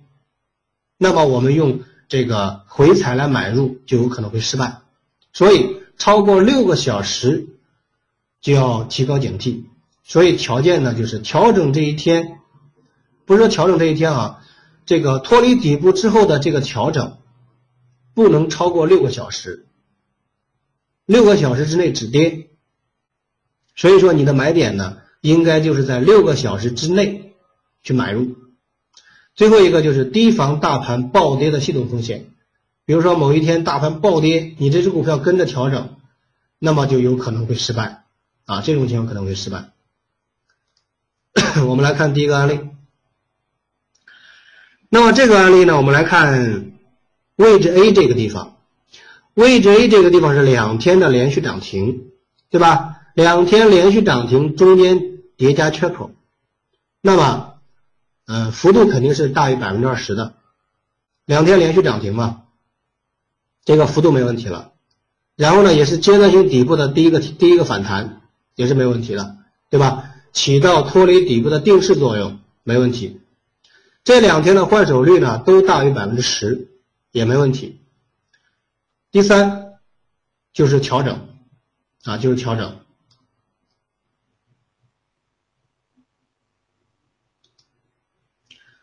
第三就是调整，调整这个地方呢，在位置 B 产生了调整。那么调整当天调整的最低点呢，调整的幅度就超过了百分之三。这个百分之三，刚才我们说了，最好是在当天就完成这个动作。如果当天调整没有超过百分之三，可以从前一天的最高点来算。调整的时间是四个小时，所以在位置 B 这一天呢，寻找买入点，或者说在位置 B 的后一天寻找买入点，也就是说在调整的这六个小时之内寻找买入点，这就是这只股票。我们来看一看这只股票盘口的具体买点在什么地方。我们来看下一张图。那么这张图里边呢，我分别把这只股票调整的这一天，还有次日拉升的这一天，这两天的分时图呢，我把它连在了一起。连在一起之后，我们来看，首先这张图的左边，也就是二零一二年四月二十三号，大家看啊，我给大家找的案例呢，全部都是最新的啊。也就是说，我们讲课呢，嗯，这些案例。每一期我都讲过很多次，每次的案例呢都是最新的，啊，不用老的，除非说有一些这种大周期的新的找不着，才可能会用老的，除此之外都是找的最新的案例。那么四月二十三号的时候呢，这是脱离底部之后，就两天连续涨停之后的第一次调整，所以四月二十三号用四个小时的时间进行深度调整。下跌的幅度呢？哎呀，我给我给遮着了啊，看不到了。下跌幅度是超过百分之三的啊，远远超过百分之三，所以下跌幅度是够的。然后呢，下调整的时间是四个小时，它的作用呢，用来震荡消化短线的获利筹码。也就是说，底部呢应该会有浮筹，两天连续拉升之后呢，就会有一些浮筹，这些浮筹呢就需要进行洗盘，怎么洗？那么就用这四个小时来震荡深度调整，超过百分之三的深度调整。所以四月二十三号用四个小时呢，在脱离底部之后调了一天，那么应该就会有不少的短线的资金呢就会离场。为什么呢？因为两个涨停板，这个利润空间挺大的，很多的拿不住大牛股的这个投资者呢，通常情况下。都会选择在这个地方离场的，我相信大家呢应该都有过这样的经历，对吧？啊，这个底部拿了一只好股票，刚刚涨了两个涨停板卖了，啊，为什么卖了？被吓出去了，就是被四月二十三号这一天的大跌吓出去了。那么以后我们就知道了，这个地方如果你想卖，也要等六个小时，啊，等六个小时。扛着，啊，就像打仗一样，你一定要顶着六个小时，啊，只要顶着六个小时就是胜利。所以你以后再见到这种股票呢，如果出现了类似于四月二十三号这一天调整，让它调，不用管它，扛我就扛六个小时，这四个小时我不管了。如果下一个次日就是明天次日，如果再调再调两个小时还不止跌，那我就卖了。那那我就卖了，但如果它止跌了，那么这只股票我会死死的拿死它，对吧？牢牢的拿住它。我们看这只股票，四月二十四号就是次日呢，这只股票开盘就低开高走，啊，低开高走。那么这个地方低开高走，突破零轴线，零轴线就是前一天的收盘价，对吧？这个大家都知道。每一天的大每一天股票的零轴线，这个零轴线是谁呢？就是前一天这只股票的收盘的价格。所以，在突破零轴线的这个地方，就是四月二十四号的买入点。那么另外呢，你可以在这只股票呢，在零轴线上可以寻找其他的买点，啊，其他的买点都可以。但针对这种股票。在突破零轴的地方，它本身就是一个买入点。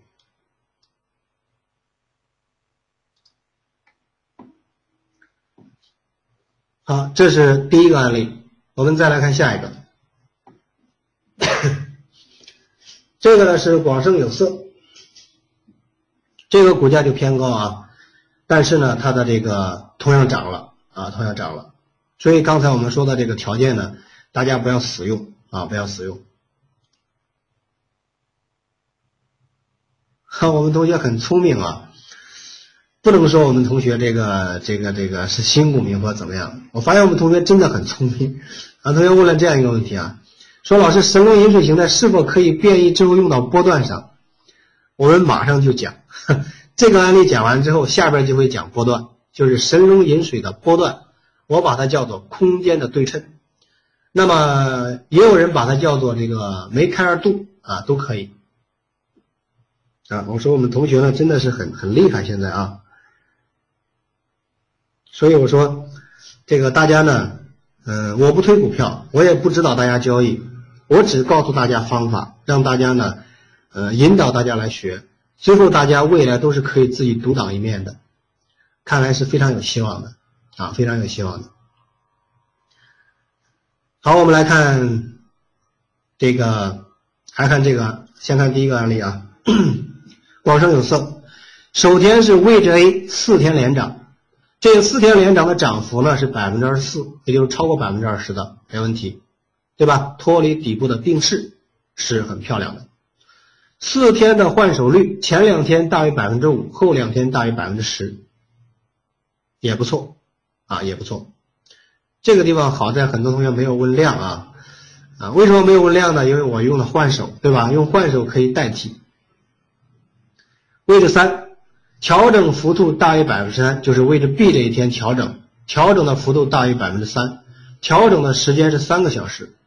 我们来看具体调整的这一天，盘口分时怎么样的，还有我们如何在这个神龙饮水的地方去买。先把 K 线形态记下来啊，我下一张图呢就是位置 B 和后一天的分时图。左边这张图，一月十六号就是位置 B，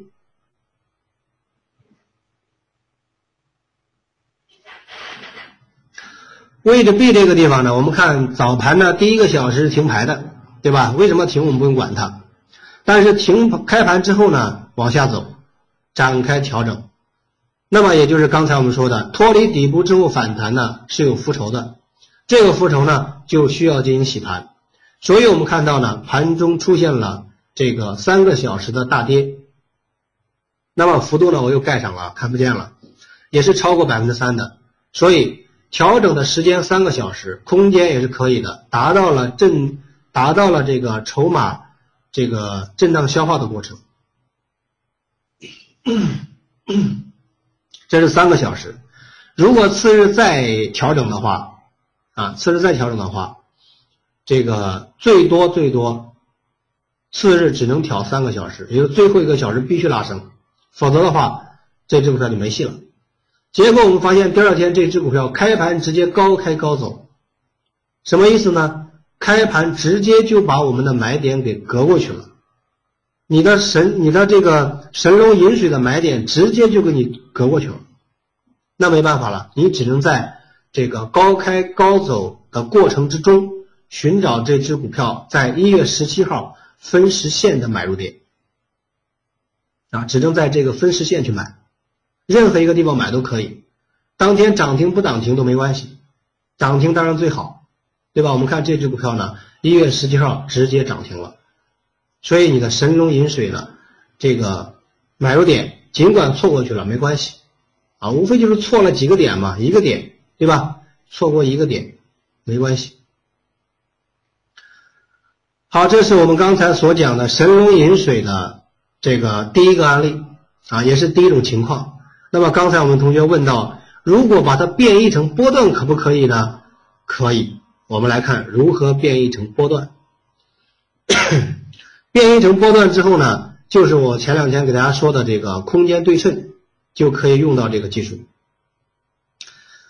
我们来看一下这个模型图里边呢，A 和 B。啊，A 和 B，A 和 B 呢就是一个小的波段，对吧？啊，A 和 B 就是一波反弹，一小波反弹。那么 A 和 B 这波反弹的波段调整的时候呢，它会调整到什么地方止跌？这个地方，大家先把百分之五十这个比例支撑记下来，啊，先把百分之五十的比例支撑记下来。也就是说，A 和 B 这波反弹作为一个波段，作为一个明显的波段，啊，你不要找那种，你不要找那种这个像爬着一样走的那种股票。啊，错综复杂的，啊，这个虽虽然也是涨了一小波，但是这波段看起来非常难看的，不要找这样的啊，找波段就找那种很流畅的，就是一波干干净净的一波反弹，找这样的波段啊，尤其这种呃日日新高那种股票是最好的，这种波段是最好的啊。A 和 B 一波反弹，那么到了 A 之后，我们首先要计算它调整，我们应该。在它调整的这个过程里边，寻找一个预期的底点。那么第一个预期点是 A 和 B 的中档支撑，啊，A 和 B 的中档支撑。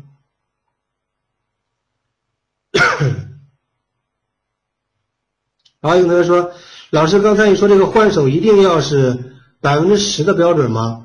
在五到十之间可以不可以？可以啊。刚才我说了是。这个大于百分之五，大于百分之十更好，大于百分之五，五到十之间不就大于百分之五吗？对吧？可以啊。好，我们继续。那么位置 A 调整的时候，大家记住啊，以后再有清晰波段的时候，调整的预期底点首先就是百分之五十的比例支撑，这是第一。第二，第二呢，这个叫黄金分割啊，黄金分割呢不是我们的技术。啊，不是我的技术，嗯，所以说我不能把黄金分割呢硬硬生生的把它拉到我的双龙战法里边，然后呢，我就大言不惭的说，啊，这是我的经典的技术，这是不对的。所以说呢，呃，黄金分割这个技术呢，我个人非常认可，啊，个人非常认可，嗯，但是呢，我不能把它硬生生拉到我们的双龙战法里来来用，所以这个地方大家要理解。我个人是很认可的，包括黄金分割，还有斐波那契数列，嗯，等等这一些，这个把买卖点进行空间量化的、精确化的一些技术呢，我个人都是比较认可的，因为我个人呢也非常的嗯喜欢这个，所以一直呢在朝着精确量化的这个思路呢在走，所以说类似于这种黄金分割的啊，斐波那契的这种。嗯，精确化量化的技术呢，我个人也是认可的，但它不是我，不是我的技术，所以我不能把它拉过来，然后告诉大家啊，这个黄金分割怎么怎么用啊，好像成我的经典之作了。这个大言不惭的这种事情我不能做。但是我要告诉各位的是，黄金分割啊，还有刚才我们说百分之五十的这种比例支撑，还有包括这斐波那契的周期数列，这种都是好技术啊，都是好技术。但它不是我们双龙战法的内容，所以说我没有把它放到我们双龙战法的课程这个设计之内，啊，但它是好东西，我们会考虑呢，在这个后期我们的收盘课里边，啊，收盘课里边，如果某一天收盘课这个所反馈的技术呢，啊，不是很清楚，我们就把这个技术呢拿出来给大家讲，像这种黄金分割呢。我会在每天的收盘课里边，以后呢找时间给大家讲，好吧？所以说这个百分之五十的比例支撑，还有黄金分割这种点位呢，都可以作为位置 A 调整下来的这种呃这种买点，或者说预期的这种调整的底点都可以。另外一个呢，还有前高，像这个模型图里面的前高，或者是明显的缺口这种呢。都可以作为位置 A 调整的预期底点。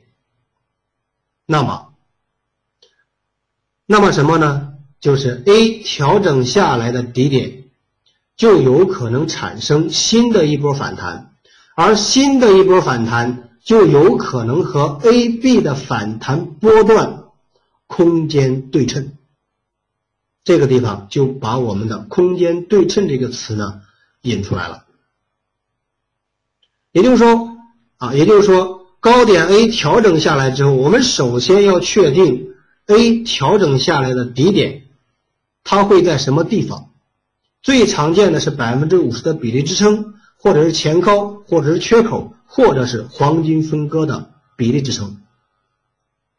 所以说呢，我们的这个技术在位置 A，你首先就可以先计算出来它调整在什么地方，先给自己一个大概的方向，是百分之五十呢？是前高呢？是缺口呢？是黄金分割呢？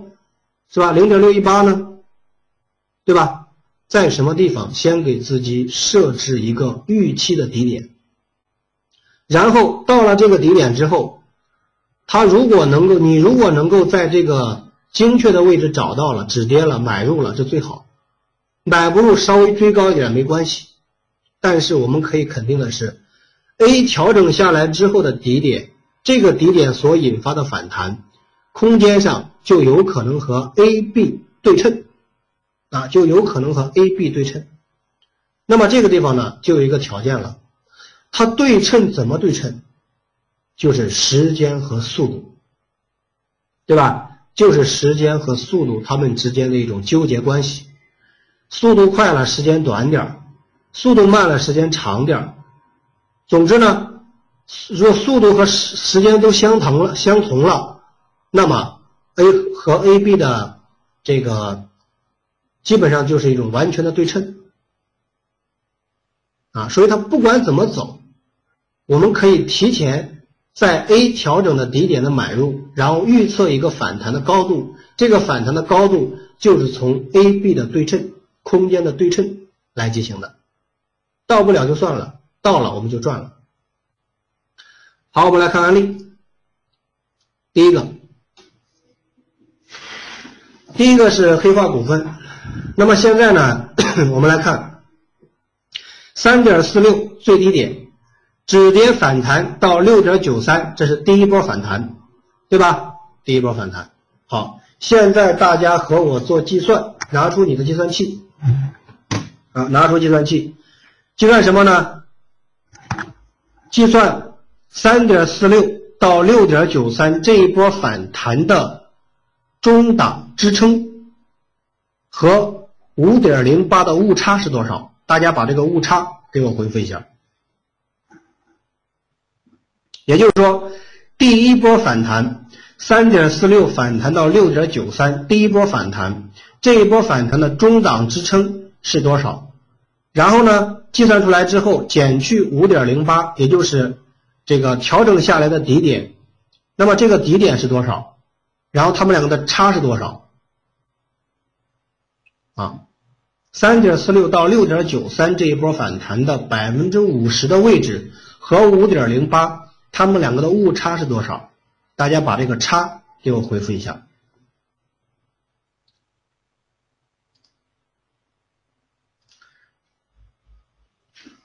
如果不会计算的话呢，待会儿我带着大家一起来做啊，自己先算一下啊，能算出来多少是多少，错了没关系啊，错了没关系。第一波反弹的中档支撑，啊，第一波反弹的中档支撑和五点零八的误差是多少？大家把它计算出来，把误差呢回复一下。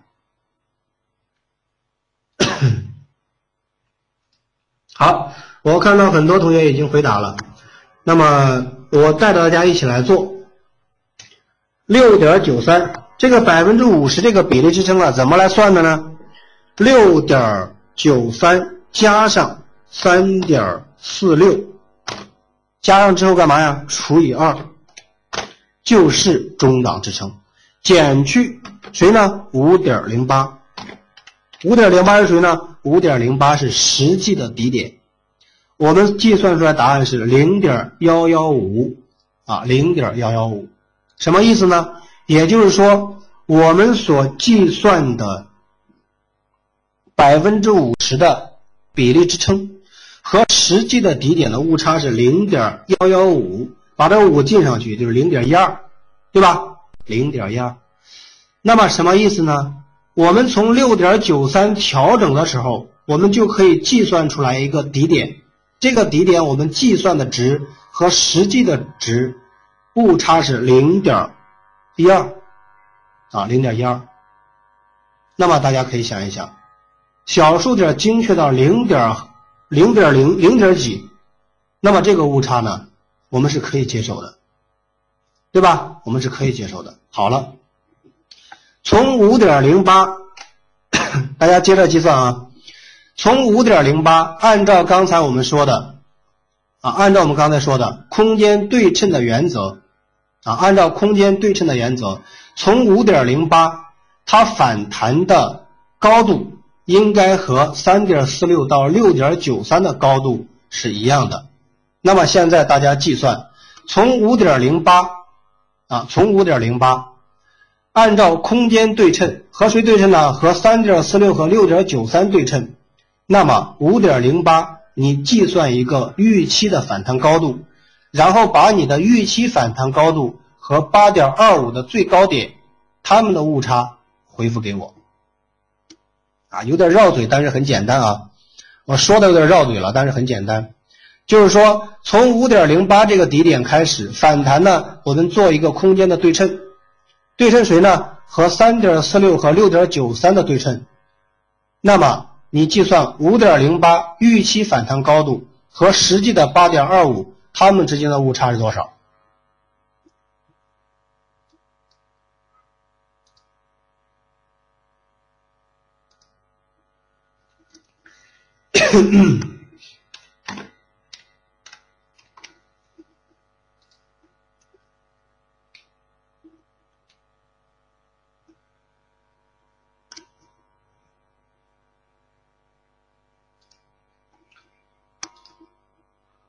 好，我看到很多同学的答案已经出来了。好，我和大家一起来计算啊。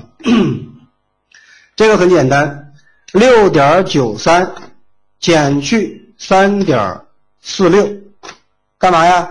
先计算出来第一波反弹的空间，对吧？你先把第一波反弹的空间计算出来，那么也就意味着呢，五点零八应该也得涨三点四七，对吧？那就加上五点零八等于八点五五，八点五五是我们预测的反弹高度，减去。实际的高点八点二五，你的差是零点三，即你所预测的高度和实际反弹的高度误差是零点三，对吧？就是这样来计算的。这就是第一个案例，这就叫空间的对称，也叫刚才我们说的这个神龙饮水的变异，也就是变异到空间上啊，变异到空间上。好，我们再来看第二个案例。第二个案例呢，嗯，不让大家计算了，不让大家计算了。但是我有一个问题啊，有一个问题，这只股票呢，创新资源这只股票呢，大家来看啊，嗯，很简单啊，很简单。大家来看什么呢？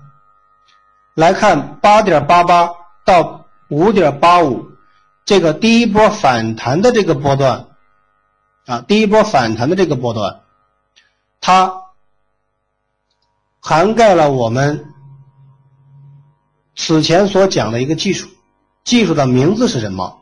我们现场考核，大家来回答。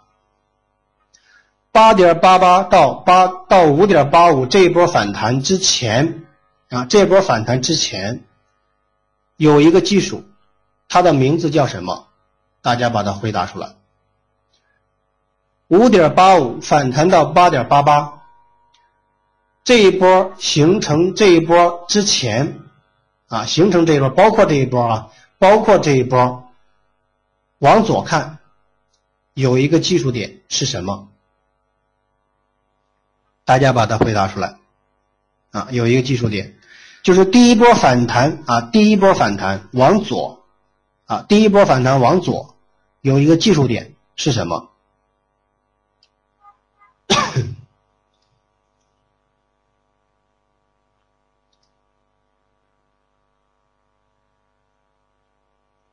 其实我都已经标出来了啊，其实我已经标出来了，就看你有没有认真看了啊，认真看了，那么就能看得出来。好，我们同学已经看出来了。这张图里边呢，在这个第一波反弹的中间，我画了一个绿色小圆点儿。这个绿色小圆点儿是我们上节课讲的弱势终结点，对不对？绿色小圆点最后一波下跌的起点被五点八五到八点八八这一波给突破了，那么也就意味着弱势终结。弱势终结之后，我告诉大家过一句话，不用大家不用回答了，来听我讲。弱势终结之后，我告诉过大家一句话，什么话呢？弱势终结之后，我们的任务就是研究它怎么涨，对吧？大家应该记住我说过这句话。弱势终结之后，我们的任务就是看它到底怎么涨。寻找它怎么涨，所以这只股票呢，五点八五到八点八八完成弱势终结，这是第一。第二，用我们今天讲的空间对称，你在位置一可以计算出来位置二的高度，这个一点难度都没有啊，一点难度都没有，就是我们的神龙饮水在波段里边的应用，也叫空间对称。最后一个呢，呃，这个呢，我想说的是什么呢？从位置四这个地方，啊，位置四这个地方反弹的时候，就出现了一些问题。什么问题呢？位置四的反弹的时速度比位置一的反弹速度要快，对吧？反弹速度快，所以它们两个之间没有办法形成空间对称，或者说形成空间对称的概率呢会非常小，所以。在位置四这个地方呢，呃，一和二如果善于用黄金分割的话，一和二这一波呢，位置四这个地方是重要的黄金分割点，啊，位置四这个地方重要的黄金分割点。这个不是我们今天的内容啊，回来在收盘课我会讲一讲黄金分割。黄金分割也是重要的学术啊，我们在收盘课要讲，可能也会讲一段时间，啊，但是很重要，我会找时间讲的，大家放心。位置四这个地方是重要的黄金分割点，从位置四开始止跌反弹，速度过快，所以空间难以对称。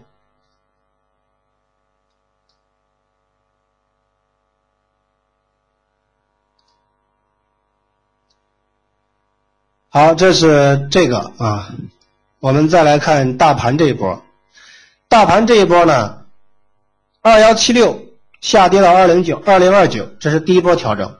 二幺四五点这个地方也是黄金分割点啊，不是这个百分之五十的比例支撑，但是黄金分割点，所以呢，二幺四五点向下预期的底点就是一九九八点，实际是一九九九点，所以同样用到了我们的神龙饮水在波段里边的空间对称。好，这个呢，这个还是比较简单的，也就是说神龙饮水呢。它在单独的一个波段里边可以用，在两个波段里边也可以用，在两个波段里边用的时候呢，它涉及到几个问题，啊，涉及到几个问题，它并不是单一的空间对称，啊，并不是单一的空间对称，它更重要的位置就是神龙饮水的点，也就是第一波反弹之后的调整低点。我把这个课件呢往前放一放啊，往前放一放，我们找这个地方。这个空间对称呢，它能够实现空间对称的原这个要点在什么地方呢？并不是所有的这个五点零八这个位置都可能会产生空间对称，不一定啊，不一定。那么什么情况下产生空间对称的概率大呢？就是五点零八这个底点啊，五点零八这个底点，它在重要的支撑位。重要的支撑位是什么？百分之五十的比例支撑可以。重要的黄金分割点，像零点六一八，还有黄金分割的其他的衍生点也可以，还有缺口也可以，或者是前高也可以。在这种重要的点。五点零八出现在这种重要的点，那么以五点零八作为波段的神龙饮水，从而引发空间对称的概率是非常大的。所以这个地方大家一定要牢记啊，一定要牢记，并不是你随便找一个低点啊，你说反弹应该和前一波一样，这是错误的，或者说很难做到的，必须要把神龙饮水的这个点，一定要把它研究清楚了，它必须发生在重要的位置上。如果说五点零八这个位置它不是百分之五十的比例支撑，也不是黄金分割点，也不是缺口，也不是前高，什么都不是的一个点。那么产生空间对称的概率是非常非常小的，所以说我们这个神龙饮水它的变异形态呢，在波段里边的变异形态呢，最重要的用最重要的要点在于五点零八的确定啊，在于五点零八的确定，所以从六点九三这个高点形成之后，你就可以开始对五点零八进行预测了啊，就可以开始预测了，但是。它到底会在什么地方止跌？我们不知道，我们只能跟踪，啊，只能跟踪。但一旦它出现，啊，一旦出现，我们对五点零八的性质要进行第一时间的判定。只要它性质上符合重要的底点，那么形成空间对称的概率就会很大。好，有同学问到这个，能不能说一说大盘一九九九点这个计算的过程啊？这个简单嘛？就按刚才的方法嘛，二幺七六点下跌到二零二九，你计算出来一个空间，对吧？我们一起来做二幺七六点七九减去二零二九等于一百四十七，对吧？这是空间，然后这个值呢减去最高二幺四五点等于一九九八点，对吧？一九九八点嘛，所以。实际是一九九九点，它是一九九八点，误差在一个点。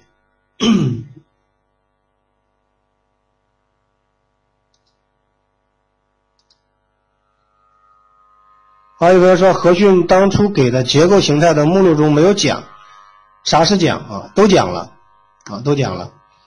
我们明天后下周四晚上会进行一次大的串讲啊，所有形态都讲了，列出来都讲了，没有没讲的。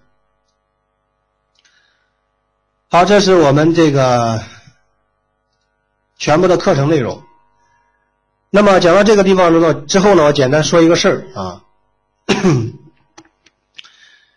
就是刚才我们谈到这个黄金分割呢，这是传统的技术，并不是我个人的技术，所以我呢，啊，不能硬生生的把它拿过来，然后呢，大言不惭的说这是我的经典技术，这是不对的啊，不管是从做人也好，还是这个呃学术也好。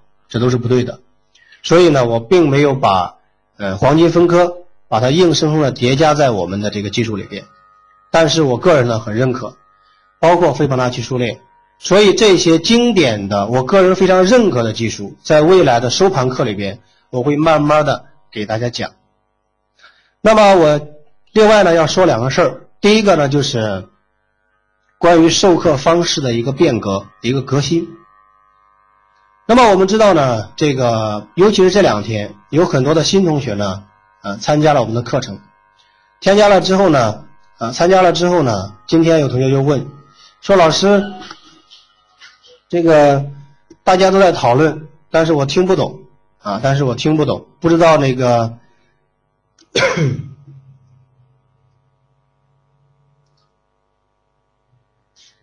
还有同学说同周期弱反，同周期弱反讲了呀。底部大阳光也讲了呀，大阳光衍生也讲了，应该你已经把它忘掉了，好吧？没关系，明天我们串讲的时候你就都明白了啊！明天串讲你就都明白了。好，刚才我们说呢，第一个事儿呢就是授课方式的一个革新，双龙战法呢这个全套课程呢已经很完善也很严谨。所以呢，我不准备进行添加和删减内容。那么到十二月初，我们第一批听课的同学呢，就已经是这个完成了第一期的这个双龙战法全套课程的一个这个课程的一个讲完了。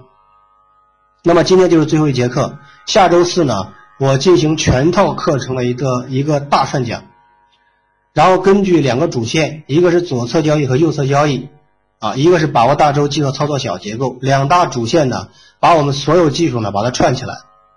我看刚才有同学呢已经把很多的这个点给忘掉了，没关系，明天串了之后呢，下周四串了之后呢，大家就明白了。然后我的意思呢就是。这个授课方式的革新呢，可能会做一个大的变动。六个月的这种课程，就是双龙战法的全套课程。这个六个月呢，录音课件嗯，不再重复讲。也就是说，下周四讲完之后，再一个周四，不会不会这个循环讲双龙战法的第一章的第一节课，不再循环讲了。为什么？因为同样的内容。重复讲呢，对大家来说没有什么意义，对吧？大家都听过一遍了，再听一遍，不是还这些东西吗？对大家来说是浪费时间，对我来说也是浪费时间。那么不重复讲了，我们把它当做我们网络课程的一个教案，把它当做网络课程的一个教科书。那么也就是说呢，嗯，所有的同学在这个学期之内都是可以无限次的。随时进行点播来学的，尤其是对于新同学呢，你可以集中在一两天的时间，把全套的课程内容呢都把它学下来。你只要有时间啊，两天、一天、一天饭都不吃，把它学完就行。这是第一个啊，第一个不循环讲，这样我们可以留出来时间了，对吧？周四晚上两个小时的时间，我们就留留留下来了，留下来我们可以做很多的事儿，对吧？这是第一个，嗯，这个全套课程不重复讲，把它作为一个教案、一个教科书。第二个呢，就是原来的课程呢，嗯，集中在两个小时，就像我们今天晚上讲两个小时。收盘的课和早课呢是后来添加的，也就是附增的添加的一个课。那么以后呢，这个集中两个小时的这个课呢，就像今天晚上这个，不再重复讲了。那么我们以收盘课为重点，那么收盘课的课时呢就会增加。那么收盘课增加课时，这是第一。第二呢，直接针对我们双龙战法套系课程的这种实战性的、技术性的跟踪和交易。也就是说，市场需要我们讲什么，我们就讲什么。另外呢，还有就是类似于黄金分割。斐波那契数列这种我个人非常认可的传统技术也会讲解。第三个就是收盘课的这个课时会延长，专门增加一个作业批改的一个课时。这个就是，呃，收盘课它的一个改动。那么这个收盘课的改动呢，我个人认为呢是很有价值的。也就是说呢，授授课方式的革新的目的，一切是。直接针对利润进行技术的跟踪运用，这个就是变革的主要目的。我们原来用了六个月的时间呢，主要是在来讲，啊，告诉大家这个是什么形态，啊，这个是什么形态。讲了之后呢，大家我看到像今天收完盘，啊，今天讲完课，有同学说了，说老师有的人还没讲呢，弱同周期弱反我们就早就讲了，在周期里面讲的。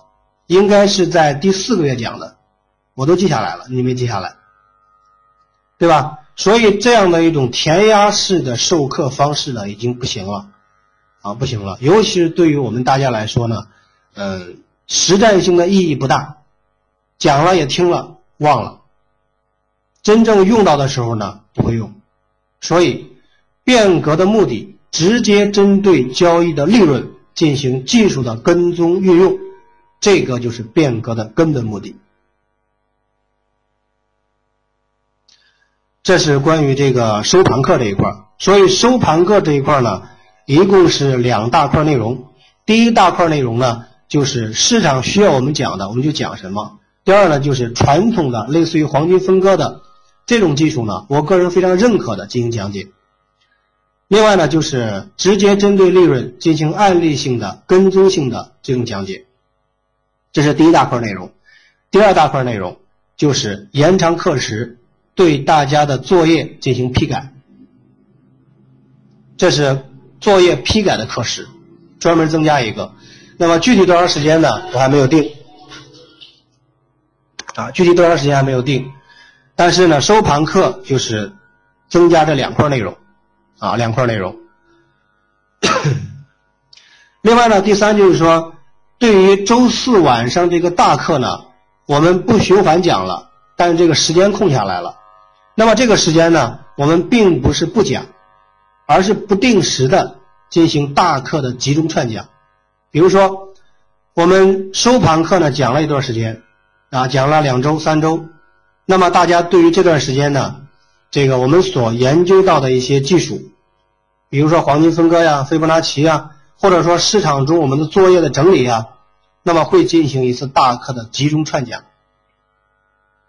那么就放到周四，所以这个呢是不定时的，时间空下来了，我们讲有用的东西，这是第三。那么另外呢，就是这次授课方式的变革呢。既照顾了老同学，也照顾了新同学，啊，新同学刚才我已经说了，就是一两天呢，你就可以把全部的内容呢用点播的方式把它学完。那么对老同学来说呢，这个 也是为了照顾第一批即将到期的同学，因为这两天呢有同学在说，呃，有什么方式可以继续的留下来，那个，这个。跟着大家在一起，但是呢，有一个问题，就是大家如果继续的来听的话，那么只是简单的来听每周四晚上这种重复的双龙战法的套系课程，那么没有什么意义，对吧？啊，没有什么意义。所以说呢，对于老同学愿意继续留下来的，我们这个变革直接针对利润进行技术的跟踪运用的一个学习，对于老同学呢。也会有很大的作用，而不是简单的同样的东西的简单重复。像类似于黄金分割的这种斐波那契的，那么都会在未来的这个课程里边呢，把它给大家讲。另外呢，还有就是我们现有的双龙战法的套系课程的综合运用、实战的讲解、利润的直接针对利润的这种技术跟踪，那么将是我们未来的重点。但是有一个问题啊，有一个问题，就是这个涉及到的黄金分割或者斐波那契等等，我认可的一些技术呢，并不是我个人的啊，并不是我独创的，所以说这个地方呢，大家要明白。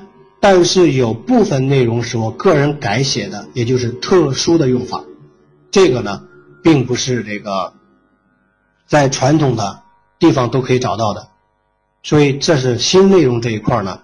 给大家做的一个讲解。好，这是关于这个。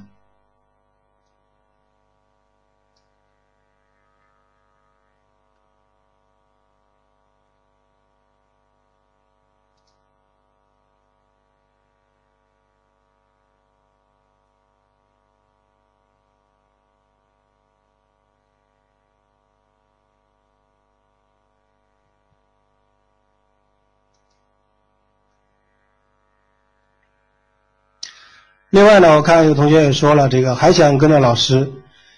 那么说实话呢，对于我们第一批老同学呢，我个人也是这个恋恋不舍的。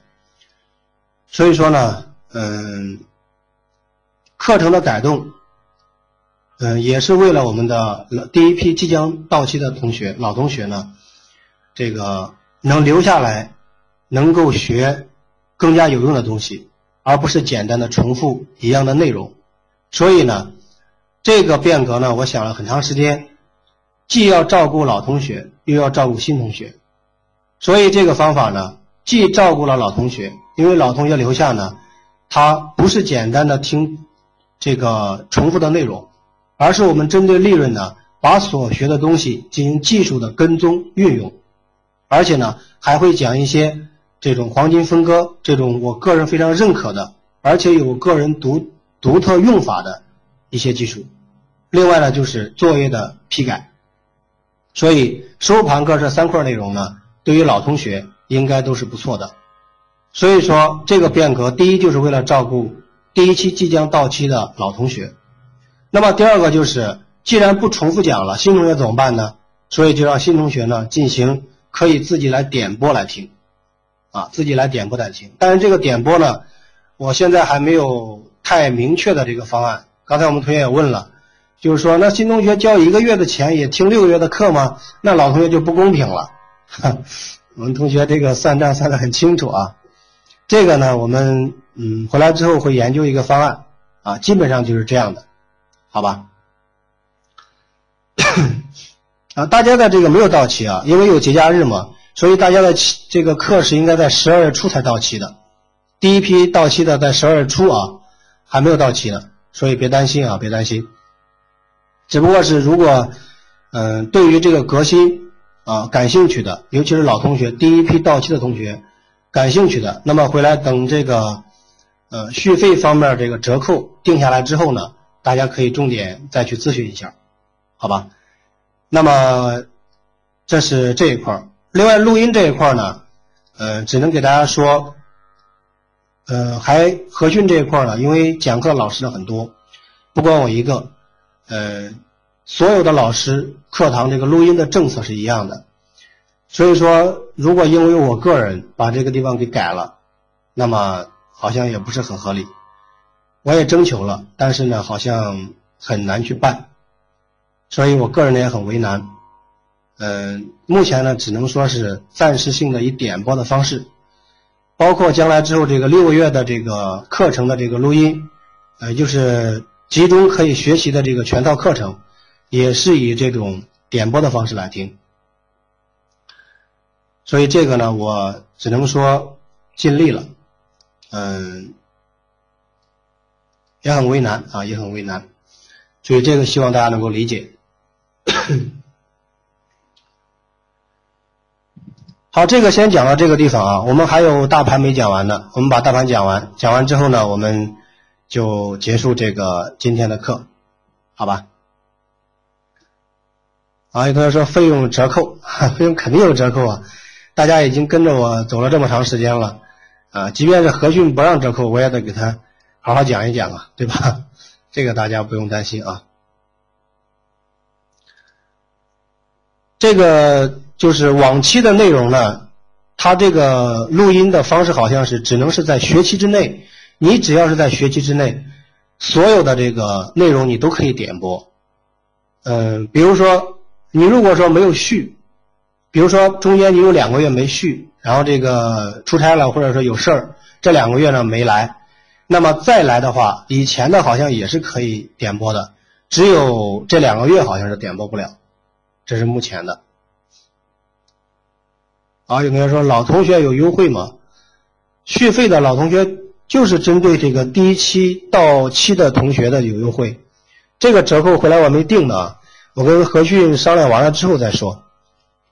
原则上呢，就是客服的和设备的这个成本。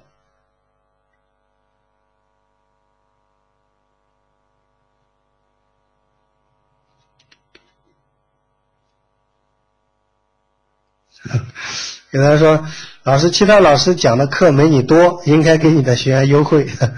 是这个，我的我也发现了，我给大家讲课的课时也好，还是这个什么也好，应该是在所有的这个老师里边，这个是最多的了。据我了解的，应该是这个所有的老师里边，是给大家讲课的课时最多的。呃，但是这一点呢，大家放心，是我个人自愿的。嗯。这个既然和大家在一起了，我就是一个原则，我们以心来换心。我愿意呢，用我所有的付出和大家在一起，是很真诚的啊，可以用真诚这两这两个字呢，呃来说。所以呢，不管是课时还是这个课程的内容，我相信大家呢也能看得出来，我呢个人很用心，不管做课件。还是做个讲课的课时，还是课程的安排，嗯，我都在给大家想，啊，每时每刻都在想，所以呢，呃，这一块呢，大家不用担心，好吧？好了，最后我们再把大盘稍微讲一讲啊，已经超过课时了。那么第一张图呢是今天大盘的分时，这个地方不说太多。位置一这个地方的背离高点，今天提示的。那么为什么提？因为在缺口的下方，如果突破了缺口，我就不提了。但它没有缺突破缺口，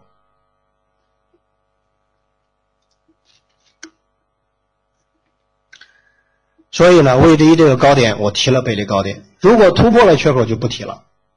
为什么？因为缺口是压力。好，这是十五分钟图。这个十五分钟图呢，我就不讲太多了。我们这个模型已经讲过很多次了，就是十五分钟顶背离所引发的反弹，十五分钟修复反弹是下跌中继，三十分钟也是下跌中继。那么基本上和我们所预测的是一模一样的。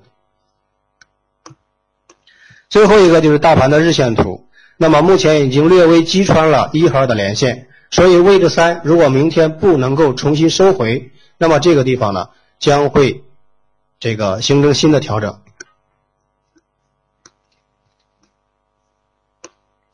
那么形成新的调整的空间应该也不大，呃，至少来说呢，我们需要进行结构线的调整。比如说一和二可能就不能再连了，那么怎么连呢？连接一和三，三的新的底点重新连，这就是结构线的调整，应该会这样，好吧？这就是。大盘啊，这就是大盘。好，现在已经九点二十二分了啊，多讲了很长的时间了啊，所以课时上呢，我从来没有给大家少过啊，也不少。这个呢，这个课时上呢，多讲十分二十分啊，算什么呢？对吧？只要大家能够学到东西啊，一切呢都是值得的。好，这个我们就今天就说到这个地方啊。关于这个录音还有授课方式的革新，最近呢我都会在呃确定完了之后呢，我会在我的博客呢单独发一篇文章，然后到时候呢大家再来看一看。然后呢，不管是新同学还是老同学，采取什么样的方式进行这个学习，然后呢到时候大家根据自己的情况，好吧？好，这是我们今天的全部内容，我们明天早课再见。谢谢大家。